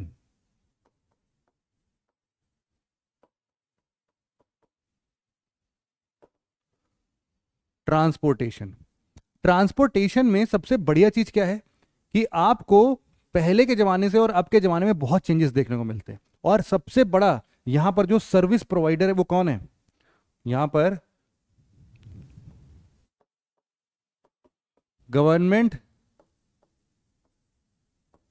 as the biggest service provider है ना? क्यों भाई? क्योंकि जितने भी रोड्स बन रहे हैं भाई, किसके अंदर में बन रहे हैं? सरकार बनवा रही है। रेलवे जो बन रहे हैं, किसके अंदर में बन रहे हैं? सरकार बनवा रही है। सागरमाला प्रोजेक्ट आए वो किसके अंडर में है? सरकार के अंदर में है। एयरवेज, चलो एयर इंडिया कंपनी अब तो बिक गई, लेकिन फिर भी अगर एयरवेज की भी बात करते तो भी क्या होता? वो भी अपने गवर्नमेंट के सेक्टर में आती। तो आप कुछ भी कर लो यहाँ पर। इन सभी ट्रांसपोर्टेशन को, आप सबसे पहले तो ये समझो कि ट्रांसपोर्टेशन की इंपॉर्टेंस क्या है। आप कोई भी गुड्स एंड सर्विसेज़ लेना चाहते हो, अगर वो आपके घर के दरवाजे पर दस्तक ना दे दे, तब तक आपको मज़ा नहीं आएगा, है ना? उसके लिए कनेक्टिविटी चाहिए मतलब कि आपको अगर ट्रेड एंड कॉमर्स करना है, या फिर कोई सर्विस लेनी है, उन सबके लिए आपका ये जो कनेक्टिविटी है ट्रांसपोर्टेशन है, ये बहुत ज़रूरी है।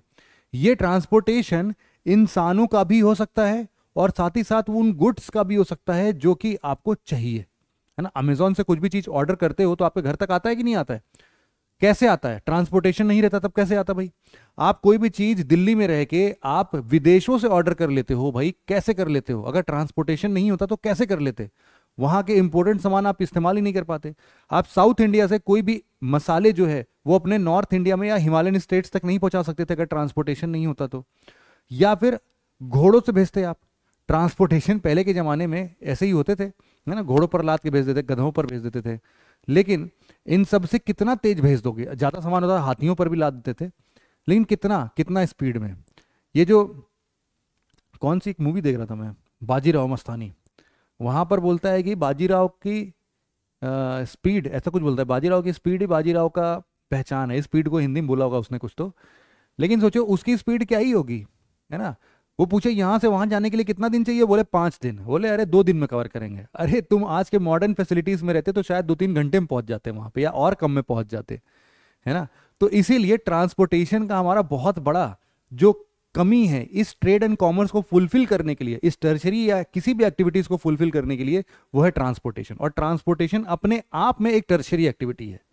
इसीलिए हम इसको प्राइमरी, सेकेंडरी में ना पढ़ के सीधे टर्शरी एक्टिविटीज़ में पढ़ रहे हैं कि ट्रांसपोर्टेशन अपने आप में एक ऐसा सर्विस एक ऐसा सेक्टर है जिसके बिना न प्राइमरी काम करेगा, न सेकेंडरी काम करेगा, ना टर्शरी काम करेगा, कोई भी नहीं काम करेगा। है कि नहीं? बात बिल्कुल सही है ना? इसको आप इसी तरीके से लिख सकते हो कि भाई पीपल मटेरियल मैन्युफैक्चर्ड गुड सब कुछ इसे ट्रांसपोर्ट हो सकता है। क्या है? Means of connectivity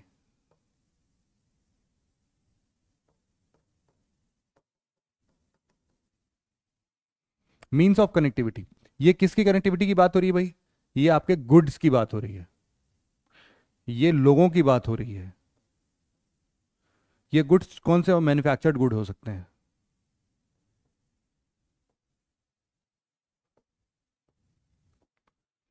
कैसे भी करके अगर इनकी कनेक्टिविटी आपने इंश्योर कर दी एक जगह से दूसरी जगह इनको पहुंचाना आपने स्टार्ट कर दिया तो आपका ट्रांसपोर्टेशन सेक्टर बढ़िया हो गया। अब यहाँ पर एक चीज़ आती है ट्रांसपोर्ट मेजर कैसे करते हैं? मेजरिंग क्वांटिटी क्या है? हाँ मैं बता रहा था कि government as a biggest service provider है, क्योंकि इसी ने आपके रोडवेज़ रेलवेज वाटरवेज ये सब बनाया। अब इनके आगे आगे सबकी स्कीम लिखनी है आपको, है ना? रोडवेज़ के सामने लिखो कि अपने बढ़िया, बिल्कुल, क्या बोलते हैं गोल्डन क्वाड्रिलैटरल बना दिया गया है। रेलवेज के सामने लिखो कि आपने डेडिकेटेड फ्रेट कॉरिडोर बना दिया है। यहाँ पर क्या है? क्वाड्रिलेटरल है। और वाटरवेज के सामने लिखो सागर माला है। है ना? गवर्नमेंट है इन सब चीज़ों के पीछे। अब सिमिलरली यहाँ पर हम ये बोलते हैं कि यार देखो ट्रांसपोर्टेशन को जब भी मेजर करते हैं डिस्टेंस को मेजर करते हैं तो डिस्टेंस को मेजर कैसे करते हैं? दो तरीके से कर सकते हैं। एक तो हम लोग किलोमीटर्स में कर सकते हैं भाई। कि कोई भी एक जगह से दूसरी जगह कोई भी सामान सर्विस इंसान को ले जाना है तो उसके लिए भाई कितनी किलोमीटर की दूरी है? 500 किलोमीटर की दूरी है। ठीक है, समझ गए। लेकिन रोड से जाएँगे तो 780 लग जाएगा। हवा में उड़ के जाएँगे तो 500 लगेगा। अगर पानी के रास्ते जाएँगे तो 250 किलोमीटर लगेगा। नहीं नहीं, पानी के रास्ते इतना कम तो नहीं हो सकता। हवा के रास्ते सबसे कम होगा।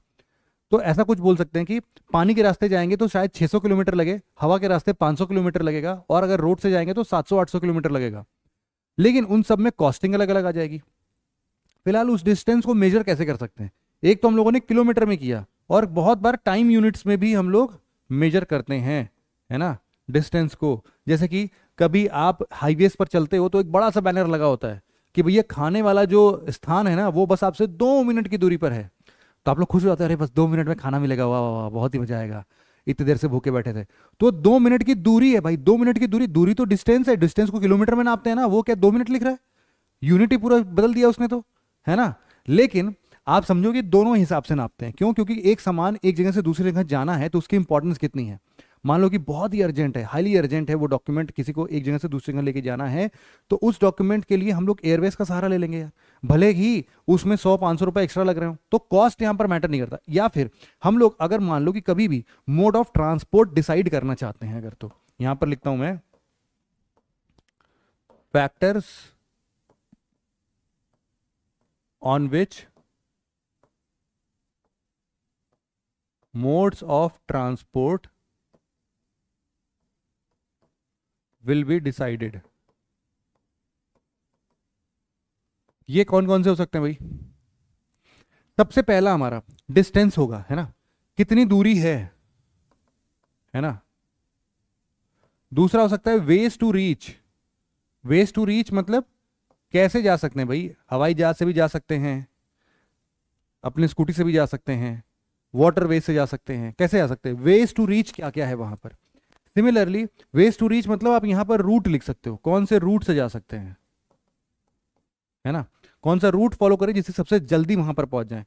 इसके अलावा आप यहाँ पर टाइम टाइम को भी बोल सकते हो, कितना समय लग रहा है पहुँचने में। है ना? यही तीन चीज़ों के बेसिस पर आप डेफिनेटली डिसाइड कर सकते हो कि आपको कोई भी सामान अगर पहुंचाना है जगह से दूसरी जगह या फिर इंसानों को एक जगह से दूसरी जगह ट्रैवल करना है तो इन फैक्टर्स के बेसिस पर ही वो सब कुछ डिफाइन कर लेता है है ना? कोई बहुत ही अर्जेंट है तो पैसे, अरे हाँ एक चीज़ तो लिखा नहीं भाई कॉस्ट ये भी तो जाएगा, जेब से पैसे ही तो जा रहे हैं इन सब चीज़ों के लिए। तो पैसे किसमें कितना जा रहे हैं, किसमें कितना कम टाइम लग रहा है, ज़्यादा टाइम लग रहा है? कोई अगर अर्जेंट नहीं है, लोग चार दिन बाद जाएगा, सर। आपके सौ रुपए बच जाएँगे वाले ले जाओ यार, सौ रुपए बच रहे हैं, जेब में क्या ही दिक्कत है। तो उस बेसिस पर हम लोग डिफाइन कर लेते हैं किस रूट से जाना चाहिए उसको, है ना? यही चीज़ था। अब यहाँ पर हम लोग एक चीज़ और समझते हैं कि आपका फैक्टर्स जिस जो कि ट्रांसपोर्टेशन को अफेक्ट कर देता है। कहाँ पर लिख दूँ? यहीं पर नीचे लिख देता हूँ।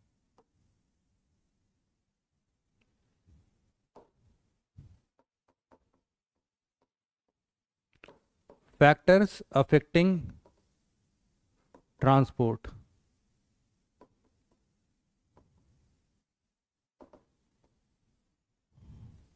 अब जरा इसमें सोच के बताओ यार। आप लोग सिर्फ़ सोचोगे और आपको समझ में आ जाएगा। सबसे पहला क्या है? डिमांड। यार, किसी भी प्रोडक्ट का डिमांड जिस जगह पर ज़्यादा रहेगा, वहाँ पर हम लोग को तेज़ी से चीज़ों को पहुंचाना पड़ेगा। नहीं पहुंचाएँगे तो यार डिमांड ही डाई आउट हो जाएगा या फिर उसके अगेंस्ट में कुछ और ऑल्टरनेटिव आ जाएँगे। तो सबसे बड़ा क्या है? डिमांड विथ पॉपुलेशन है ना? डिमांड एंड पॉपुलेशन यहाँ पर ऐसा लिख लो। डिमांड प्लस पॉपुलेशन आप भी समझते हो कि जहाँ पर पॉपुलेशन ज़्यादा है, वहाँ पर डिमांड ज़्यादा है है ना? तो जितने भी विदेशी कंपनी विदेशी लोग थे ना, वहाँ उन्होंने क्या किया? इंडिया में अपने नंबर ऑफ़ फ्लाइट्स बढ़ा दिए, सिर्फ़ और सिर्फ़ क्यों? क्योंकि यहाँ पर पॉपुलेशन ज़्यादा है, यहाँ पर डिमांड ज़्यादा है। तो इसीलिए जो भी सामान भेजना है, वहाँ पर भेजो ट्रेडिंग करो वहाँ पर। इससे और फ़ायदा मिलेगा। तो इसके लिए डिमांड और पॉपुलेशन का रहना ज़रूरी। इसके एक फैक्टर है और दूसरा जो फैक्टर है, वो आपका होता है रूट किस रूट पर जाना है, किस शहर पर जाना है, किस इंडस्ट्रियल एरिया में जाना है, वहाँ पर जाने आने का कितना खतरा है, वहाँ की टोपोग्राफी क्या है, वो सारी चीज़ें फैक्टर आउट हम लोग कंसिडर कर लेते हैं। यहाँ पर हम हम लोग लिखते हैं रूट्स आपको एग्ज़ाम्पल के तौर पर यह पता होगा कि बहुत सारे ऐसे हिमालयन स्टेट्स हैं।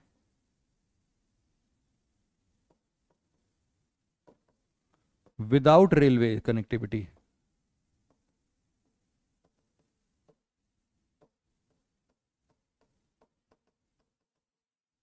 ये क्यों है? क्यों? क्योंकि यहाँ पर यार वेदर कंडीशन या वेदर या फिर टोपोग्राफी ऐसा रहा कि आपको डिसाइड करना पड़ जाएगा यार कि वहाँ पर पहुँच पाओगे कि नहीं पहुँच पाओगे।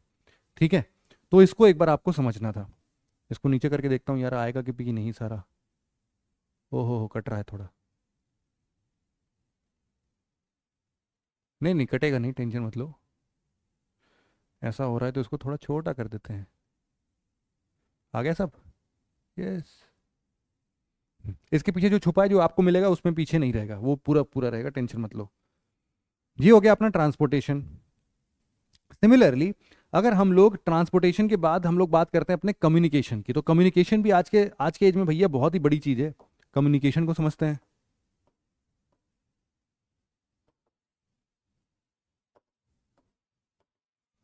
कम्युनिकेशन क्या चीज़ का?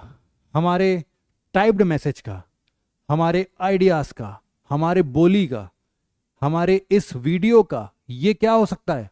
कम्युनिकेशन हो सकता है। मैं आपको पढ़ा रहा हूँ, ये कम्युनिकेट होके आप तक पहुँच रहा है। यूट्यूब पर जा रहा है और हज़ारों, लाखों लोग इस वीडियो को देख रहे हैं और वो ये चैप्टर समझ रहे हैं। कैसे पॉसिबल है? कम्युनिकेशन के ज़रिए। तो कम्युनिकेशन हर बार आप समझोगे कि इस पूरे सर्विस सेक्टर या टर्चरी एक्टिविटी का one of the most important segment है ये कम्युनिकेशन और ये कम्युनिकेशन आज के टाइम पर तो बिल्कुल लाइटनिंग स्पीड से होने लगा है। यहाँ पर मैंने एक बटन दबाया सेंड का और वहाँ पर आपके पास व्हाट्सएप पर एक मैसेज तुरंत ही रिसीव हो गया। नहीं तो पहले पहले तो कबूतर चिट्ठी लेके जाते थे भाई।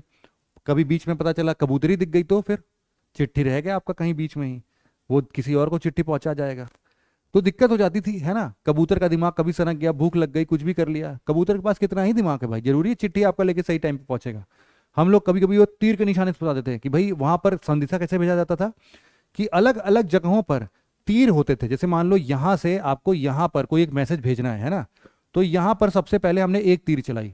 ये गया यहाँ पर यहाँ पर गिर गया, है ना? यहाँ से एक और तीर चली, ये भी गया यहाँ पर और यहाँ पर गिर गया, फिर यहाँ से एक और तीर चलाई हमने, फिर ये जाके पहुँचा यहाँ पर। तो ये एक क्या तरीका है? ये मतलब कि जल्दी पहुँचाने का तरीका, ये इजाद किया गया था भाई। आपको कमेंट सेक्शन बताना है कि ये किसने इजाद किया था। आप लोग जो अगर मीडियल हिस्ट्री पढ़ते हो तो उसमें ये चीज़ ज़िक्र है वहाँ पे, है ना? तो ये जो तीर उड़ उड़ के जा रही है ना, आप सोचो कि ये तीर बीच में कहीं और गिर गई तो? कोई बच्चे ने मैसेज पढ़ लिया तो यहाँ पर क्या आपका वो सीक्रेट मेंटेन रहा? सीक्रेसी तो उड़ जाएगी यार। आपने बहुत ही प्राइवेट मैसेज किसी को भेजा था कि बस उसी बंदे को पढ़ना चाहिए। बता, छोटा बच्चा खोल लिया उस चिट्ठी को। खोल के सबके गाँव गाँव में फैला दिया वो बात, है ना? आप ऐसे सीक्रेट इन्फॉर्मेशन मान लो किसी लड़की को भेज रहे होगे तो तब तो फिर हल्ला हो जाएगा, बिल्कुल ही गड़बड़ हो जाएगी फिर तो आपकी बात। तो इसलिए ऐसा ये वाला सिस्टम भी नहीं चलेगा। अपने को चाहिए end to end encrypted message WhatsApp देखते हो क्या लिखा होता है? एंड टू एंड इनक्रिप्टेड मतलब क्या है कि ऐसी इंक्रिप्शन कर दी गई है कि उसमें सिर्फ़ या तो आप पढ़ सकते हो या तो जिसको भेजा है वो पढ़ सकते हो। बीच में कोई पढ़ ही नहीं सकता उसको, क्योंकि उसको पता नहीं है कि किस कोडिंग के ज़रिए आपको, हम लोगों ने क्या उसमें लिखा है कि हर बार ए को हम डॉलर लिखेंगे, हर बार टी को हम लोग क्या लिखेंगे? एस लिखेंगे। अब ये तो रैंडम है ना, हर बार हम लोग जे को वन लिखेंगे। ये रैंडम डिस्ट्रीब्यूटेड है। है ना? और इसी चीज़ को डिकोड कर देता है जिसके सामने ये पहुँचता है। तो ये जो इनकोडर है, ये इनकोडर और डिकोडर केवल आपके पास और जिसको मैसेज भेजा उसके पास से आएगा। इसीलिए व्हाट्सएप लिखता है कि इन टू इंड इनक्रिप्टेड है। भाई, बीच में इस मैसेज को कोई पढ़ नहीं सकता। आप जब जैसे ही सेंड बटन दबाते हो ना तो उसमें जो वो तीन मैजिकल वर्ड है आई डोंट नो वही वाला, कि आई डोंट नो मान लो आपने लिखा इस चीज़ को तो वो आई डोंट नो जो है ना, वो तीन लेटर्स ऐसे आई डोंट नो के तरीके से पूरे तारों तार में या फिर कम्युनिकेशन सैटेलाइट्स के थ्रू नहीं फैल रहा है। वो अलग ही कोडिंग के थ्रू फैल रहा है है ना? वो zero one one one zero zero ऐसे कुछ करके जा रहा है और वहाँ पर भी कुछ ऐसे अलग से कुछ कोडिंग है। वहाँ पर कुछ और समझ में आ रहा है। तो बीच में कोई भी पकड़ेगा ना तो उस मैसेज को पढ़ ही नहीं पाएगा। क्यों? क्योंकि उसका इनकोडिंग जो है वो किसी दूसरे लैंग्वेज में कर दिया गया है। कुछ और भाषा में बना दिया गया तो समझो इस तरीके से। कम्युनिकेशन जो है कम्युनिकेशन का मतलब क्या है कि कम्युनिकेशन हमारे वर्ड्स हमारे मैसेजेस हमारे हमारी बोली या फिर हमारे आइडियाज़ का आदान प्रदान है। बोल सकते हैं कि नहीं? हम लोग बोल सकते हैं कि कम्युनिकेशन सर्विसेज़ कम्युनिकेशन सर्विसेज़ की अगर बात करें कि this type of service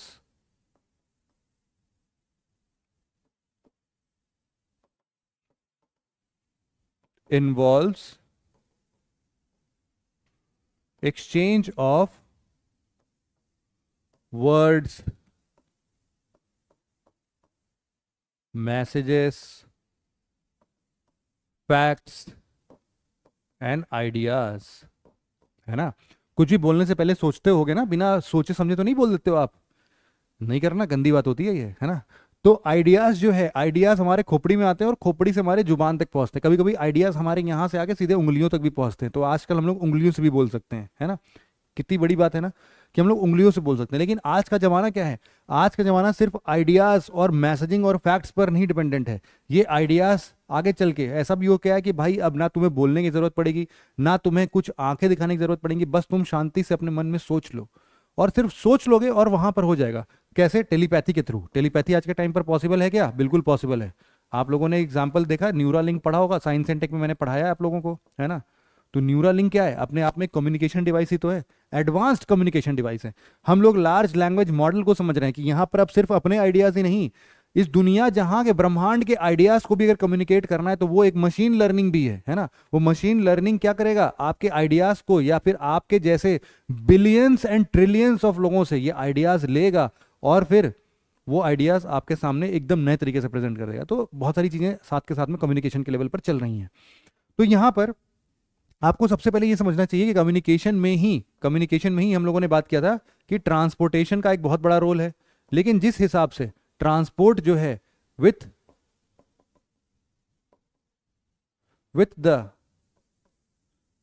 ऐसा लिख सकते हैं कि with the arrival of digital words ये ट्रांसपोर्ट जो है ना, वो धीरे धीरे कम हो रहा है। लेकिन बिल्कुल खत्म नहीं होगा कभी भी। आप भी देखते हो कि आज के जमाने पे भी जो मोस्ट डेवलप कंट्रीज़ होंगी ना, वहाँ पर भी पोस्ट ऑफ़िस होते हैं, वहाँ पर भी लोग चिट्ठी लिख के भेजते हैं। तो अगर ऐसा होता कि नहीं, सब चीज़ तो हम इन टू एंड इनक्रिप्टेड है तो व्हाट्सएप पर भेज देते हैं ऐसे ऐसे कर लेते हैं तो नहीं हो पाएगा। इन सब की अपनी अपनी यूटिलिटी है तो ट्रांसपोर्टेशन आज भी कम्युनिकेशन में उतना ही इंपॉर्टेंट है।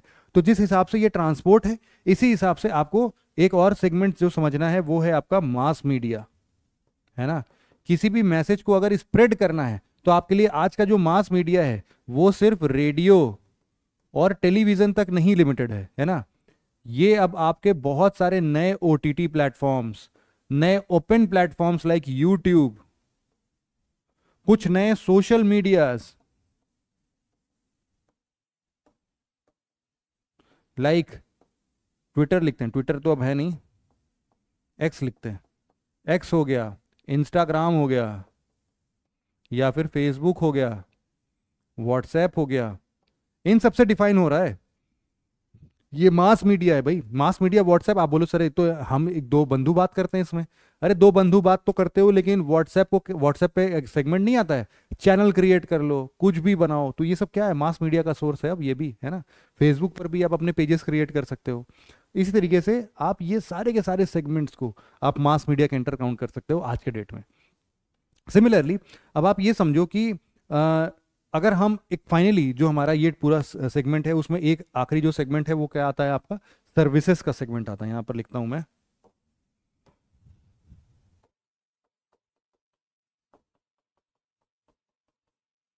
सर्विसेज़ ये सर्विसेज़ क्या कह रहा है भाई? सर्विसेज़ देखो अलग अलग लेवल्स पर हो सकते हैं, है ना? सर्विसेज़ अलग अलग लेवल्स पर कौन सा है? कभी हम लोग किसी इंडस्ट्री को सर्विस दे सकते हैं, कभी हम किसी रिटेल में लोगों को सर्विस दे सकते हैं मतलब एक दो इंसानों को सर्विस दे सकते हैं। इंसानों में भी आप बोल सकते हो कि यार, कभी हम लोग क्या कर लें, हम लोग ना एक ऐसी सर्विस देने जा रहे हैं जहाँ पर ज़्यादा लोगों की ज़रूरत नहीं है, वो लो ऑर्डर सर्विस है। लेकिन कहीं पर हम लोग क्या करते हैं बल्क ऑर्डर सर्विस कर देते हैं large amount of services required होती हैं। अब ये सारी चीज़ें क्या कैसे हैं, एक बार समझते हैं। जैसा कि मान लो, हम लोग, मान लो कि आप एक प्रोफेशनल हो, है ना? प्रोफेशनल पर्सन हो, जो कि साल के अंत में अपना आईटीआर फ़ाइल करता है है ना? इनकम टैक्स रिटर्न फ़ाइल करता है।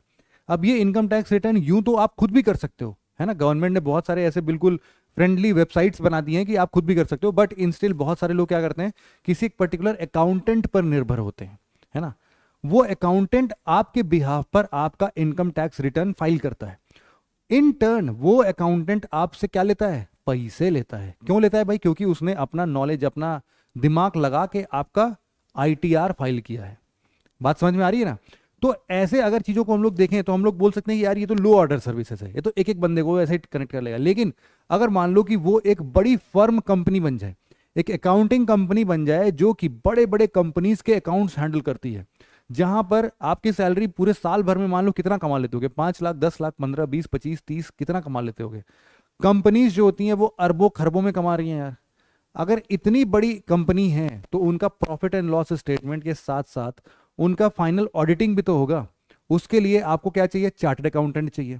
तो खूब सारे चार्टर्ड अकाउंटेंट खूब सारे अकाउंटेंट्स इन सब लोगों ने मिलकर एक बड़ी कंपनी बना दी। अब ये बड़ी कंपनी कम से कम ऐसे छोटे छोटे पता नहीं, हज़ारों कंपनियों के ऐसे ही अकाउंट्स को डील करता है। अब ये क्या हो गया भाई? ये लार्ज क्वांटिटी ऑर्डर में देख रहा है अब, है ना? तो इसी तरीके से हम लोग इसको लो ऑर्डर सर्विस और इसको हाई ऑर्डर सर्विस में डिस्टिंग कर सकते हैं। सर्विसेज़ सर्विसेज़ का मतलब क्या है भाई? सर्विसेज़ का मतलब है कि आप एक प्रकार का कोई भी इनटेंजिबल चीज़ जो कि आपके प्रॉब्लम का सोल्यूशन दे रही है, उसको पाने के लिए उसके अगेंस्ट में आप पेमेंट कर रहे हो। वही है। है ना? अब यहाँ पर जैसा मैंने बताया कि ये दो टाइप्स के हैं कौन कौन सा? एक लो ऑर्डर सर्विस है।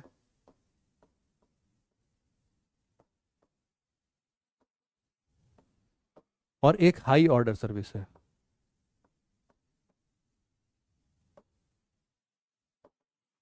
आप इसको बहुत बेसिकली अपने अपने सिर्फ़ नॉलेज और एक्सपर्टीज से इसको बता सकते हो। जैसे कि आप, जैसे मैंने तो एक तो अकाउंटेंट का नाम दे दिया, है ना? लोकल अकाउंटेंट और एक क्या है? अकाउंटिंग फर्म है। ये क्या है? He is dealing with ten peoples account और they are dealing with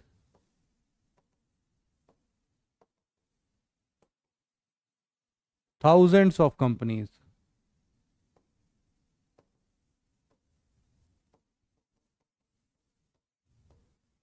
है ना? यहाँ पर जब भी आप किसी लोकल जगह पर जाते हो ना तो आपको हमेशा छोटे के कमरे के डॉक्टर्स दिखते हैं। मतलब कि उन्होंने अपना डिस्पेंसरी खोल रखा होता है है ना? डॉक्टर्स विद डिस्पेंसरी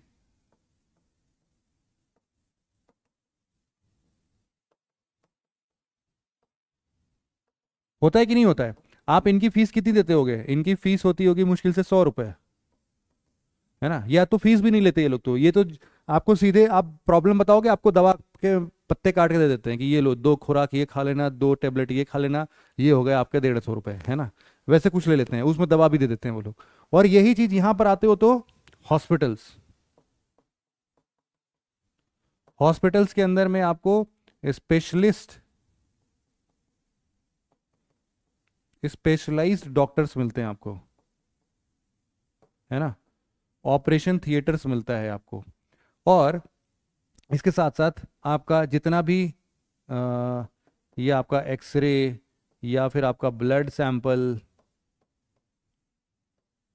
ये सब किस कैटेगरीज में आएगा? ये सब बड़े कैटेगरीज में हाई ऑर्डर ये लोग तो पता नहीं कितने लोग को एक साथ ट्रीट करते होंगे, है ना? तो वैसी चीज़ें आप बिल्कुल बहुत ही इजीली इन सर्विसेज़ को डिस्टिंग कर सकते हो। यहाँ पर जैसे कि आप एग्ज़ाम्पल दे सकते हो, लाल पाथ लैब का, है ना? लाल पाथ लैब क्या होता है? हर जगह है, वो तो चेन वाले में भी दे सकते हो कि चेन स्टोर्स में लाल पाथ लैब भी वो हेल्थ सेक्टर में आपको चेन फैसिलिटी दे रहा है कि आप किसी भी जगह पर हो, वो आपका ब्लड सैंपल घर पर कलेक्ट करने आएगा। और आज के ज़माने में, जब भी हम लोग सर्विसेज़ के नाम पर लो ऑर्डर सर्विसेज़ की बात करते हैं और जब भी रिटेलर्स की बात करते हैं तो आज के टाइम पर कुछ नए एग्जाम्पल्स अगर आपको लिखने हैं तो आप उसमें ये सब चीज़ें भी ज़रूर से लिखो। आप लिखो इसमें हाँ रिटेल में, ये, यहाँ पर आप एग्ज़ाम्पल में लिखो अच्छे से कि आज के टाइम पर जो डोर सर्विसेज़ हैं, वो डोर सर्विसेज़ बहुत ही ज़्यादा ऊपर उठ के आ चुकी हैं। ये सर्विसेज़ के अंदर भी आएगा और रिटेल सर्विसेज़ में भी आएगा। डोर रिटेल सर्विसेज़ है ना? यहाँ पर आपको क्या मिल रहा है? ब्लिंकिट ब्लिंकिट जेप्टो स्विगी जोमेटो को क्यों छोड़ना? ये सब क्या है? दो रिटेल सर्विसेज़ हैं। आपके घर तक आके सामान पहुँचा के जाएँगे भैया ये लोग। और सिमिलरली ऐसे बहुत सारे, ऐसे बहुत सारे आपके सर्विसेज़ भी मिलेंगे जो कि आपको डोर टू डोर सर्विस देते हैं। डोर सर्विसेज़ देते हैं। ये डोर सर्विसेज़ में क्या होता है? आप लोगों ने आजकल एक नया सुना है क्या? एक पता नहीं यार, घर वाले मंगाते हैं मुझे को पता नहीं है। एक है यस मैडम है है ना? मेरे को एग्जैक्टली exactly नहीं पता है। या फिर सबसे बढ़िया यस मैडम आपको नहीं पता हो यार, इसको नहीं लिखते हैं। ये छोटी कंपनी है अभी भाई, थोड़ी बड़ी हो जाएगी, तब इसका एग्ज़ाम्पल देंगे आपको। क्या हो गया? नीचे जा। हाँ। आपको यहाँ पर लिखता हूँ अर्बन कंपनी अर्बन कंपनी ये क्या है भाई? ये आपके घर पर आके आपको बोलना है कि यार, मेरा बाथरूम बहुत गंदा हो गया यार, कौन साफ़ करेगा? इसके लिए तो किसी को पकड़ना पड़ेगा, उसको सौ रुपए देने पड़ेंगे। अर्बन कंपनी वाले भाई मेरे पास पूरा मशीन भी है घिसने वाला, सब कुछ एकदम चमका के बिल्कुल नया कर दूँगा। आप बताओ मेरे को पाँच सौ रुपए लूँगा, बाथरूम बिल्कुल नया करके दूँगा। आप बोलोगे, आओ भाई, अर्बन कंपनी ऐप है, ऐप से बुक करोगे। आपको बाल कटाने का मन है लेकिन बाहर नहीं जाने का मन है। अरे, ऐप है, अर्बन कंपनी भेजेगा ना आपको। सारी की सारी सर्विसेज़ क्या करेगा? आपके घर तक पहुँचा देगा। ये क्या है? Retail door services. ये लो ऑर्डर सर्विसेज़ है। लेकिन चूँकि इन्होंने क्या किया इसको इतने जगह फैला दिया, इतने जगह फैला दिया है कि अब ये धीरे धीरे क्या हो रहे हैं? हाई ऑर्डर सर्विसेज़ बन चुके हैं। आपके अपने पर्सनल इस्तेमाल के लिए तो भैया ये क्या है, छोटे सर्विसेज़ हैं, लेकिन इनका एग्ज़ाम्पल आप किसमें लिखोगे? हाई ऑर्डर सर्विसेज़ में लिखोगे। इनको डेली बेसिस पर कम से कम नहीं तो लाखों लोग अप्रोच करते हैं और लाखों लोग को ये सर्विस डिलीवर कर रहे हैं अलग अलग शहरों में ये, है ना? तो इस तरीके से आप थोड़े नए एग्जाम्पल्स लिखोगे तो थोड़ा और ज़्यादा मज़ा आएगा।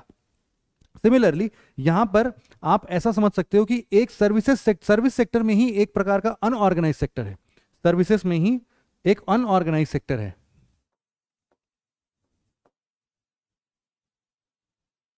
अनऑर्गेनाइज्ड या फिर इनफॉर्मल सेक्टर है।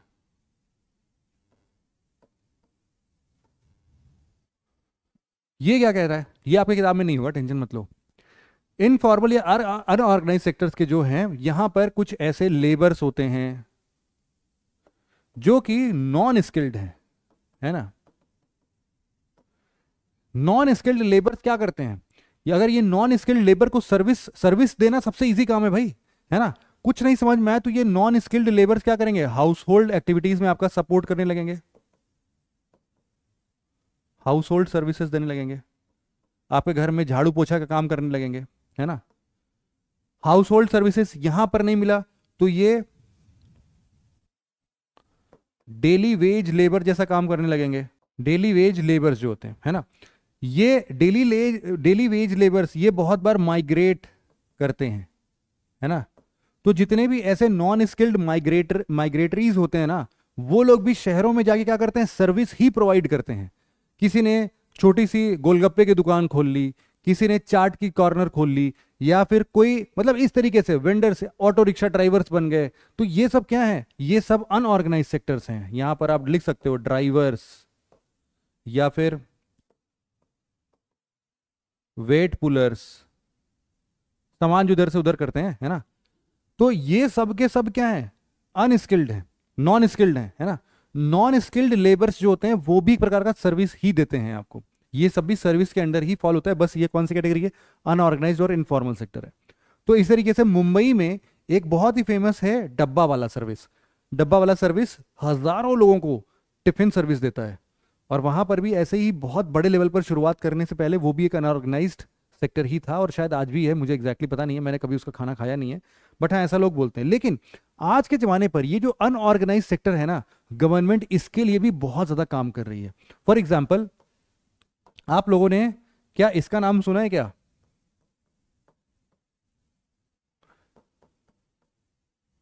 ई श्रम पोर्टल का नाम सुना है? आज के डेट में अगर मैं आपको बताऊँ, जो लेटेस्ट डेटा है दिसंबर 2023 का, दिसंबर 2023 के हिसाब से approximately 300 million 300 million unorganised labours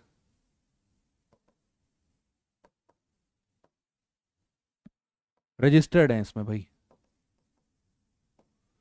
इन लोग को क्या मिलता है? इन लोग को मिलता है एक यूनिक अकाउंट नंबर यूएएन मिलता है। इस यूएएन को हम लोग सीड कर देते हैं आधार। अब सोचो कि कोई भी स्कीम अप्लाई करना हो, किस शहर में, कौन, कहाँ पर, कितने वेज लेबर्स अनऑर्गेनाइज सेक्टर में रह रहे हैं, सब कुछ पता है अब हमें। अब हमें ऐसे कोई भी स्कीम निकालना इनके लिए कितना आसान है? इनको अनऑर्गेनाइज से ऑर्गेनाइज सेक्टर्स में लेके आना कितना आसान है? तीस करोड़ जनता है जो कि ई श्रम पोर्टल पर आज के डेट में रजिस्टर्ड है। तो सोच लो आप, है ना? ये एग्जैक्टली तीस, तीन सौ मिलियन वहाँ नहीं था, वो 297 या 296 मिलियन था। मैं सपोज़ कर रहा हूँ कि यार दो तीन महीने हो चुके हैं, इतने लोग और भी आ चुके होंगे। तो 300 मिलियन प्लस लोग डेफिनेटली आज के डेट में होंगे यहाँ पर। है ना? तो इतने सारे लोग रजिस्टर्ड है वहाँ पर। तो सोचो, अब अनऑर्गेनाइज सेक्टर को भी हम काफ़ी तेज़ी से यहाँ पर इस सेक्टर में लेके आने की बात कर रहे हैं। सिमिलरली अब हमारा जो अगला टॉपिक है कि भाई इन टर्शरी एक्टिविटीज़ में कौन से लोग इन्वॉल्व है? लिखता हूँ मैं इस चीज़ को।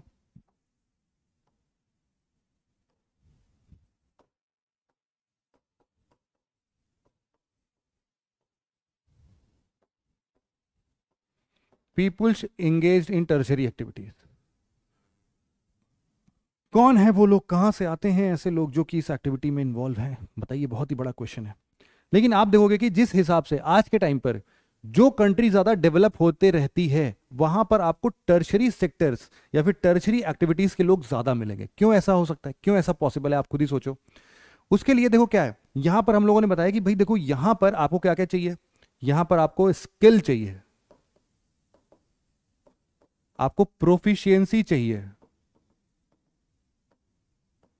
आपको स्पेशलाइजेशन चाहिए।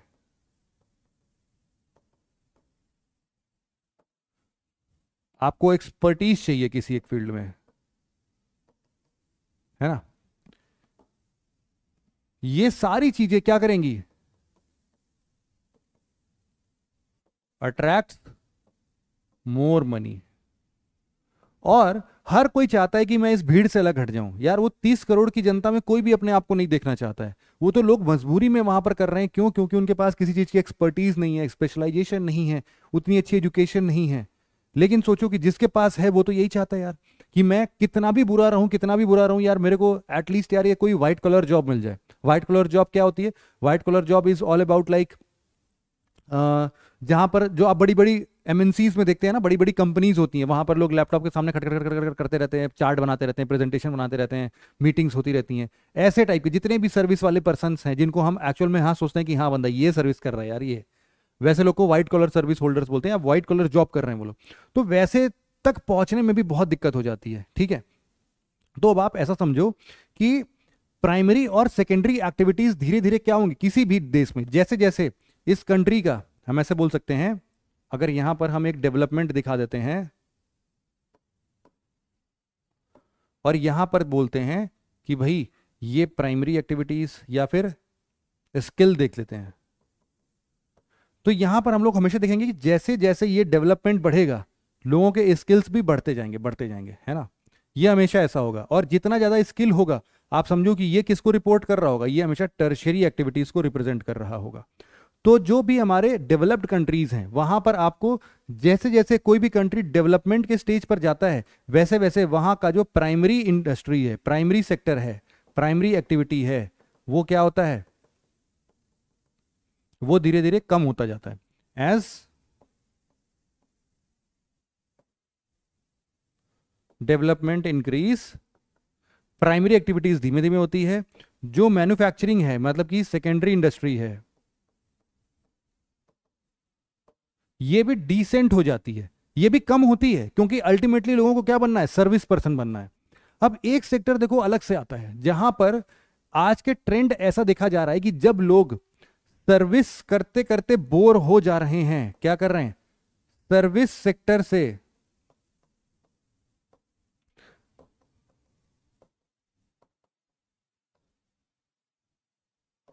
ऑन्टरप्रेन्योरशिप पर लोग आगे बढ़ रहे हैं। ऑन्टरप्रेन्योरशिप कौन है भाई? These are the decision makers. है ना? They are the risk takers और इसको अब हम लोग समझेंगे कि ये जो टर्शरी सेक्टर है, अब धीरे धीरे लोग क्या कर रहे हैं? सर्विस सेक्टर को अब बोल रहे हैं कि यार बॉस की गुलामी कौन करेगा? कौन डेली चार गाली सुनेगा और फिर भी उसी काम में पड़ा रहेगा? कौन सुबह से शाम तक वही पीपीटी बनाता रहेगा? इन सब चीज़ों से अब सर्विस से बोर हो चुके हैं लोग। उनके अंदर और भी ज़्यादा क्षमता है। वो वो यार बॉस क्या, दस बॉस ऐसे ही संभाल लें वो लोग, है ना? दस बॉस को अपने अंडर में काम करा लें। ऐसी इच्छा बहुत सारे लोग की होती होगी ना? तो ऐसे लोग क्या करते हैं? अपने आप को ऑन्टरप्रेनोर्स घोषित कर देते हैं। ये ऑन्टरप्रेनोर्स क्या करते हैं? ये अपनी खुद ही कंपनी खोल लेते हैं। खुद ही कंपनी खोलते हैं, खुद ही कंपनी चलाते हैं। They are the decision makers and hence they will be classified under some quinary activities या फिर क्वार्टनरी एक्टिविटीज़ में आएँगे ये लोग। तो अब ये टर्शरी सेक्टर से भी आगे निकलने की बात चल रही है। हालाँकि है, वो भी एक सर्विस सेक्टर ही, लेकिन वहाँ पर उससे भी बियॉन्ड जाने की बात हो रही। और ये आपको हमेशा दिखता रहेगा भाई। जैसे जैसे स्किल आगे बढ़ेगा टर्चरी से क्वार्टरी क्विनरी ये सब बढ़ता रहेगा, है ना? तो आप इस चीज़ को हमेशा ध्यान रखना।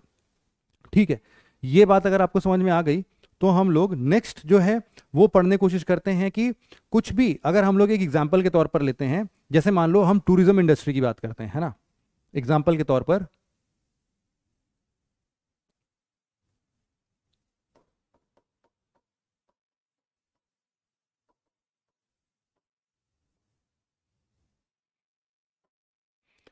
या फिर सिर्फ़ टूरिज़्म एक्टिविटी लिखते हैं? ये कितना बड़ा चेंज लेके आ सकता है यार? क्योंकि देखो, टूरिज़्म इंडस्ट्री आज के टाइम का सबसे बड़ा सर्विस सेक्टर है भाई। आज के टाइम का सबसे बड़ा सर्विस सेक्टर। इससे बड़ा सर्विस कोई देने वाला नहीं है। क्यों? क्योंकि ये टूरिज़्म इंडस्ट्री एक नहीं है। टूरिज़्म एक्टिविटी एक चीज़ का मतलब मतलब एक चीज़ सिर्फ़ इसमें नहीं होता है। इसमें आप देखो, चेन ऑफ़ होटल्स। मतलब कि एकोमोडेशन के लिए चाहिए उनको कुछ ना कुछ। है ना? Chain of restaurants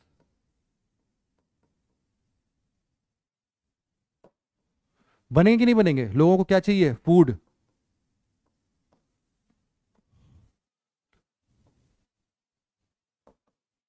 chain of retail shops ये वो चेन की बात नहीं हो रही, है ना? चेन मतलब एबंडेंस रिटेल शॉप यहाँ पर इनके जो भी डेली यूसेज की इनकी ज़रूरत के सामान होते हैं, वो सब बढ़िया चल रहे हैं, है ना? एक ऐसा बड़ा कंपनी का ऐसा बड़ा एक्टिविटीज़ है जो कि हर साल लोग कहीं ना कहीं घूमने जाते हैं और वहाँ की पूरी की पूरी इकोनॉमी उससे ड्रिवन है। कमेंट सेक्शन में मुझे बताओ कि कौन सी कंट्री ऐसी है जिसका सबसे ज़्यादा सेगमेंट जो है या सबसे ज़्यादा पैसा उस देश में टूरिज़्म की वजह से आता है। ऐसे बहुत सारे देश हैं, उनके एक दो के एग्ज़ाम्पल दे दो आप मुझे बस। तो अब क्या हो रहा है कि धीरे धीरे वर्ल्ड का सिंगल लार्जेस्ट टर्शरी एक्टिविटी ये बनते जा रहा है है ना? ये क्या है भाई?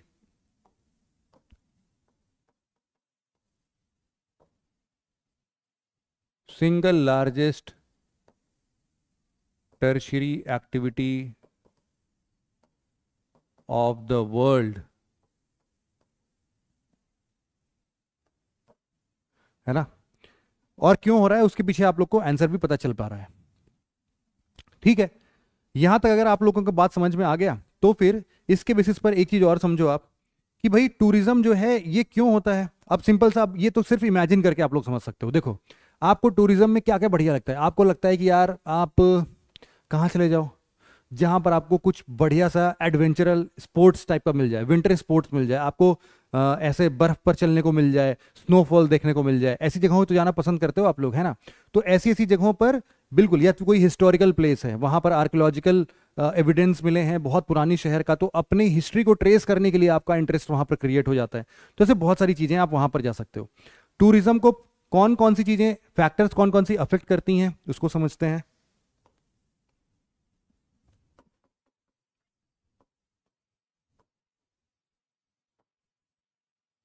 फैक्टर्स अफेक्टिंग टूरिज़्म सबसे पहले जो आम लोगों की डिमांड है, वो है छुट्टी। है ना? छुट्टी मिलेगा तभी तो घूमने जाओगे। छुट्टी नहीं मिलेगा तो घूमोगे कहाँ? फिर तो काम ही करते रहोगे सुबह शाम। तो हॉलीडेज सबसे बड़ा डिमांड है भाई लोगों का। मतलब holidays is is all about leisure time खाली चाहिए भाई इनको। पक चुके हैं। काम करते करते तो इनको लेजर टाइम चाहिए। सबसे पहला डिमांड तो यही हो जाएगा। इसके बाद आपका एक जो सबसे इंपॉर्टेंट है इसके लिए, वो आपका ट्रांसपोर्ट है। है ना? कैसे जाओगे? पहले के जमाने में तो लोग क्या करते थे? छोटे छोटे दूर पर जाने के लिए भी लोगों को सोचना पड़ता था कैसे जाएँगे। लेकिन आज के लिए आपको विदेशों तक जाना है मुश्किल से घंटों में पहुँच सकते हो आप। कैसे? आपके पास एयरवेज है। तो यहाँ पर आप लिख दो टूरिज़्म एक्टिविटी से एक और चीज़ यहीं पर लिख लो कि एक बहुत बड़ा ट्रांसपोर्ट सेक्टर भी इससे ओपन हो रहा है। है ना? अब यहाँ पर हॉलीडेज और ट्रांसपोर्ट ये दो बातें अगर आप लोगों ने समझ ली है तो इसके बेसिस पर जरा आप समझो कि लोगों के टूरिस्ट अट्रैक्शन का पॉइंट क्या क्या बन सकता है। यहाँ पर मैं लिखता हूँ।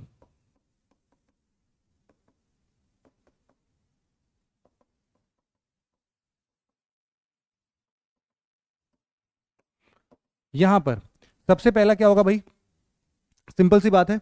सबसे पहले कि आप ये देखना चाहते हो क्लाइमेट कैसा है। आपको ऐसा लगता होगा कि यार हम लोग ना हमेशा मस्त पहाड़ों के बीच में क्लाइमेट में एकदम ठंडे ठंडे जगहों पर जाएँ। लेकिन आप ये समझो कि दुनिया की ज़्यादातर जनता जो होती है वो ठंडे प्रदेशों में ही रह रही है। उनके लिए गर्मी को देखना बड़ा ही ज़रूरी होता है कि यार, अरे वाह दिन भर सूरज चमक रहा है, भाई, क्या बात है। इनके लिए सबसे बेस्ट स्पॉट क्या होता है? मेडिटेरेनियन सी वाला एरिया या फिर अपने इंडिया का वेस्टर्न घाट ये वाला रीजन ये सबसे इंपॉर्टेंट है इनके। सबसे ज़्यादा लोग यहाँ पर घूमने की कोशिश करते हैं। क्लाइमेट इज़ ऑल अबाउट मतलब कि हम लोग के लिए भी, हम लोग को बर्फ़ गिरना स्नोफॉल ये सब देखना है तो वो भी क्लाइमेटिक फैक्टर पर ही डिपेंडेंट है। इसके साथ साथ जो आप अगला बोल सकते हैं, वो बोल सकते हैं कि आपको भाई चाहिए एक बढ़िया, सुंदर, मनोरम दृश्य लैंडस्केप ज़बरदस्त चाहिए आपको, है ना? यहाँ पर आप क्या लिख सकते हो? लैंडस्केप्स भी लिख सकते हो। यहाँ पर आप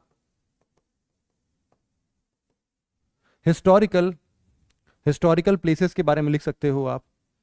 आप कोई भी एडवेंचर स्पोर्ट्स, जैसे कि स्कीइंग लिख सकते हो, आप राफ्टिंग लिख सकते हो, बंजी जंपिंग करने के लिए लोग कहाँ कहाँ चले जाते हैं, पैराग्लाइडिंग करने के लिए कहाँ कहाँ चले जाते हैं ये सब चीज़ें आप लिख सकते हो। क्या ये सब टूरिज़्म को ही तो प्रमोट करने के लिए लिखा गया है है ना? तो ये सारी चीज़ें इसके अलावा आप बहुत बार किसी के कल्चर से बहुत ज़्यादा प्रभावित होते हैं, है ना? और उसके कल्चर को एंजॉय करने के लिए। जैसे लोग राजस्थान जाते हैं, वहाँ पर चौकी धानी एक जगह है। चौकी धानी में लोग बैठते हैं, वहाँ पर फोक डांस देखते हैं नॉर्थ ईस्ट जगह पर जाते हैं, वहाँ पर उनके फोक डांस देखते हैं, वहाँ का रिलीजियस परस्पेक्टिव देखते हैं। इन सब चीज़ों के लिए लोग जाया करते हैं। तो यहाँ पर आप इस तरीके समझ सकते हो। अब यहाँ पर आपका नेक्स्ट जो टॉपिक आता है, वो इसी तरीके से आता है क्वार्टनरी एक्टिविटीज़ क्वार्टनरी एक्टिविटीज़ और क्विनरी एक्टिविटी अब ये सारे दो छोटे छोटे से टॉपिक हैं।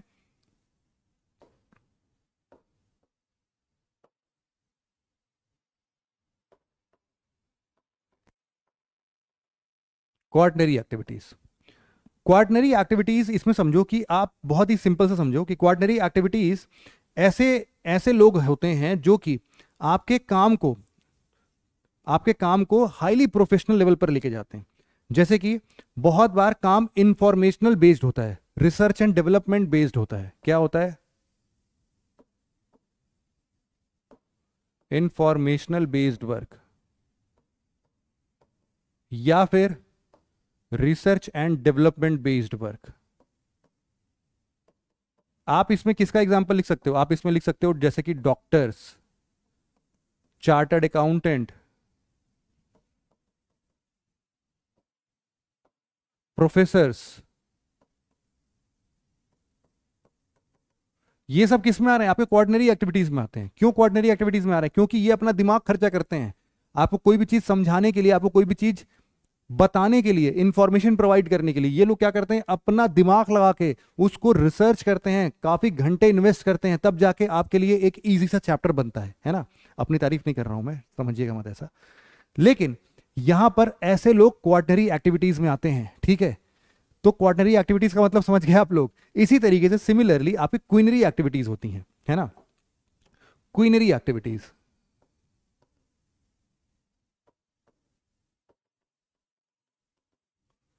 क्वीनरी एक्टिविटीज़ देखो, वो लोग होते हैं जो कि डिसीज़न मेकर्स होते हैं बड़े बड़े जैसे कि आपने सीईओ e देखा होगा सीईओ e किसी भी कंपनी का सीईओ e होगा वो क्या करता है? डिसीज़न मेक करता है। है ना? मतलब ऐसा नहीं है कि इसके पास वो प्रोफिशिएंसी नहीं है। ये मतलब क्वार्डनरी एक्टिविटी नहीं कर सकते। क्वार्डनरी एक्टिविटी भी करता है। अपना दिमाग लगाता है, सब कुछ करता है रिसर्च करता है, सब कुछ पढ़ता है। लेकिन अगर कभी डिसीज़न लेने की बात आती है ना तो ये आते हैं। ऐसे बहुत बड़े पोस्ट पर, जैसे मान लो आप लोग डिस्ट्रिक्ट मजिस्ट्रेट बनोगे, है ना?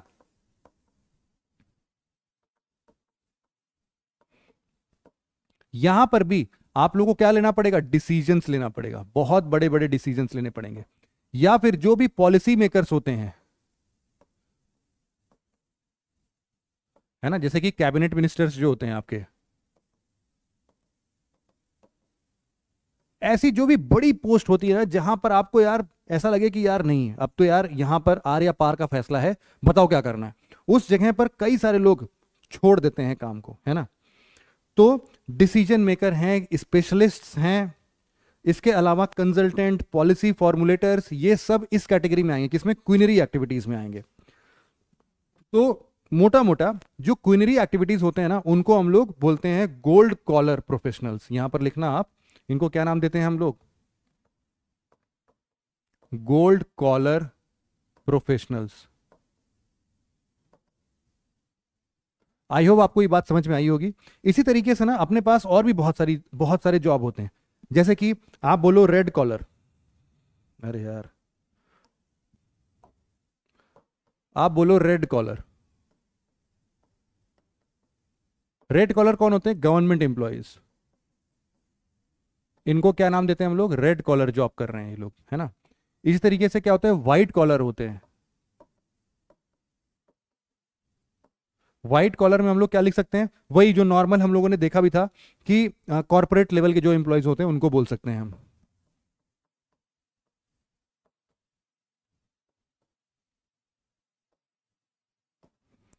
यहाँ पर ब्लू कॉलर ब्लू कॉलर ये कौन होते हैं? आप समझो कि जो हमारे मजदूर होते हैं लेबर वर्क होता है मैनुअल लेबर जो करते हैं, उनको ब्लू कॉलर जॉब बोलते हैं हम लोग। हम लोगों ने गोल्ड कॉलर ऑलरेडी देख लिया है। इसके बाद रेड हो गया, गोल्ड हो गया, व्हाइट हो गया, ग्रे है। ग्रे कॉलर्ड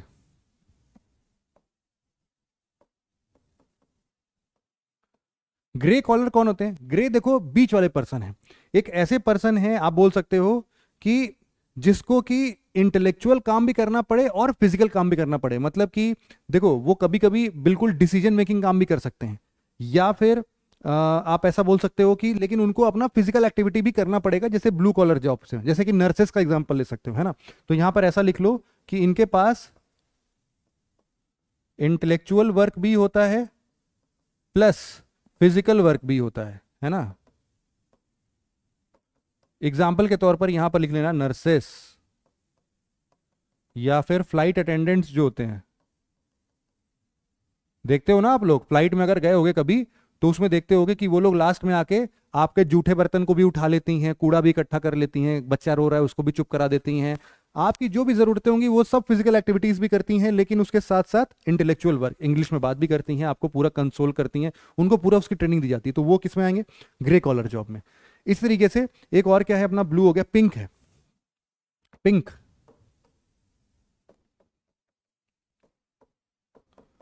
पिंक कॉलर ये क्या है? रिलेटेड विथ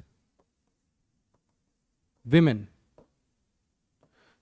इसके अलावा और भी बहुत सारी चीज़ें हैं। जैसे कि और कौन कौन से हैं मेरे पास? मेरे पास एक है आपके लिए black collar job black collar तो इस पर लिख नहीं पाऊँगा मैं। ब्लैक पेन से किसी और से लिख देता हूँ। ग्रीन भी होगा क्या मेरे पास? ग्रीन नहीं है। ग्रीन कॉलर जॉब होता है क्या? आप लोग पता करना एक बार। मुझे तो मिला नहीं। एक मुझे पर्पल मिला है बल्कि। पर्पल जो होते हैं वो पर्पल पर्पल कहाँ गया? ये रहा। पर्पल कॉलर जो होते हैं, वो आईटी प्रोफेशनल्स होते हैं, है ना? वो भी ऐसा ही समझ लो कि इसमें आपको ब्लू और वाइट दोनों की ज़रूरत पड़ेगी, है ना? आईटी प्रोफेशनल्स में। सिमिलरली इसी तरीके से एक होता है हमारा ब्राउन ब्राउन जो होता है, वो मिलिट्री वालों के लिए होता है भाई। ब्राउन इसमें नहीं है। तो कोई नहीं, किसी और से लिख देते हैं। चलो, अब कॉमन लिख देता हूँ मैं। यहाँ पर ब्राउन ब्राउन जो होता है वो मिलिट्री वाले लोग के लिए होता है। और साथ में एक एक ओपन है। Open collar. Open collar specifically जो फ्री फ्रीलांसर्स होते हैं स्पेशली वो महिलाएँ जो कि घर पर बैठ के आपको फ्रीलांसिंग जॉब में हेल्प करती हैं, उनको बोलते हैं। Women with work from home इसको फ्रीलांसर बोलते हैं हम लोग। ऐसा बोल सकते हैं। है ना? तो ऐसे मोटे मोटे बहुत सारे तरीके हैं। आपके लिए एक हमने और क्या बोला था? ब्लैक बोला था ना? ब्लैक जैसे कि जो कोल के लेबर्स होते हैं, जो ऑयल पेट्रोलियम से उठाते हैं, समझ लो ये ब्लू कॉलर से भी थोड़ा सा और नीचे जॉब है, इसको हम लोग बोल सकते हैं ब्लैक। Black collar. वैसे तो देखो, कोई जॉब ऊपर नीचे ऐसा होता नहीं है, उसको क्लासिफाई करना ही अपने आप में बहुत गलती है, ऐसा मुझे बोलना नहीं चाहिए था वैसे। Blue collar job. Blue collar से भी आप ब्लैक कॉलर को किसको रिलेट कर सकते हो? जो कि कोल लेबर्स होते हैं। या फिर पेट्रोलियम ऑयल लेबर्स या फिर पेट्रोलियम एक्सट्रैक्शन जो करते हैं।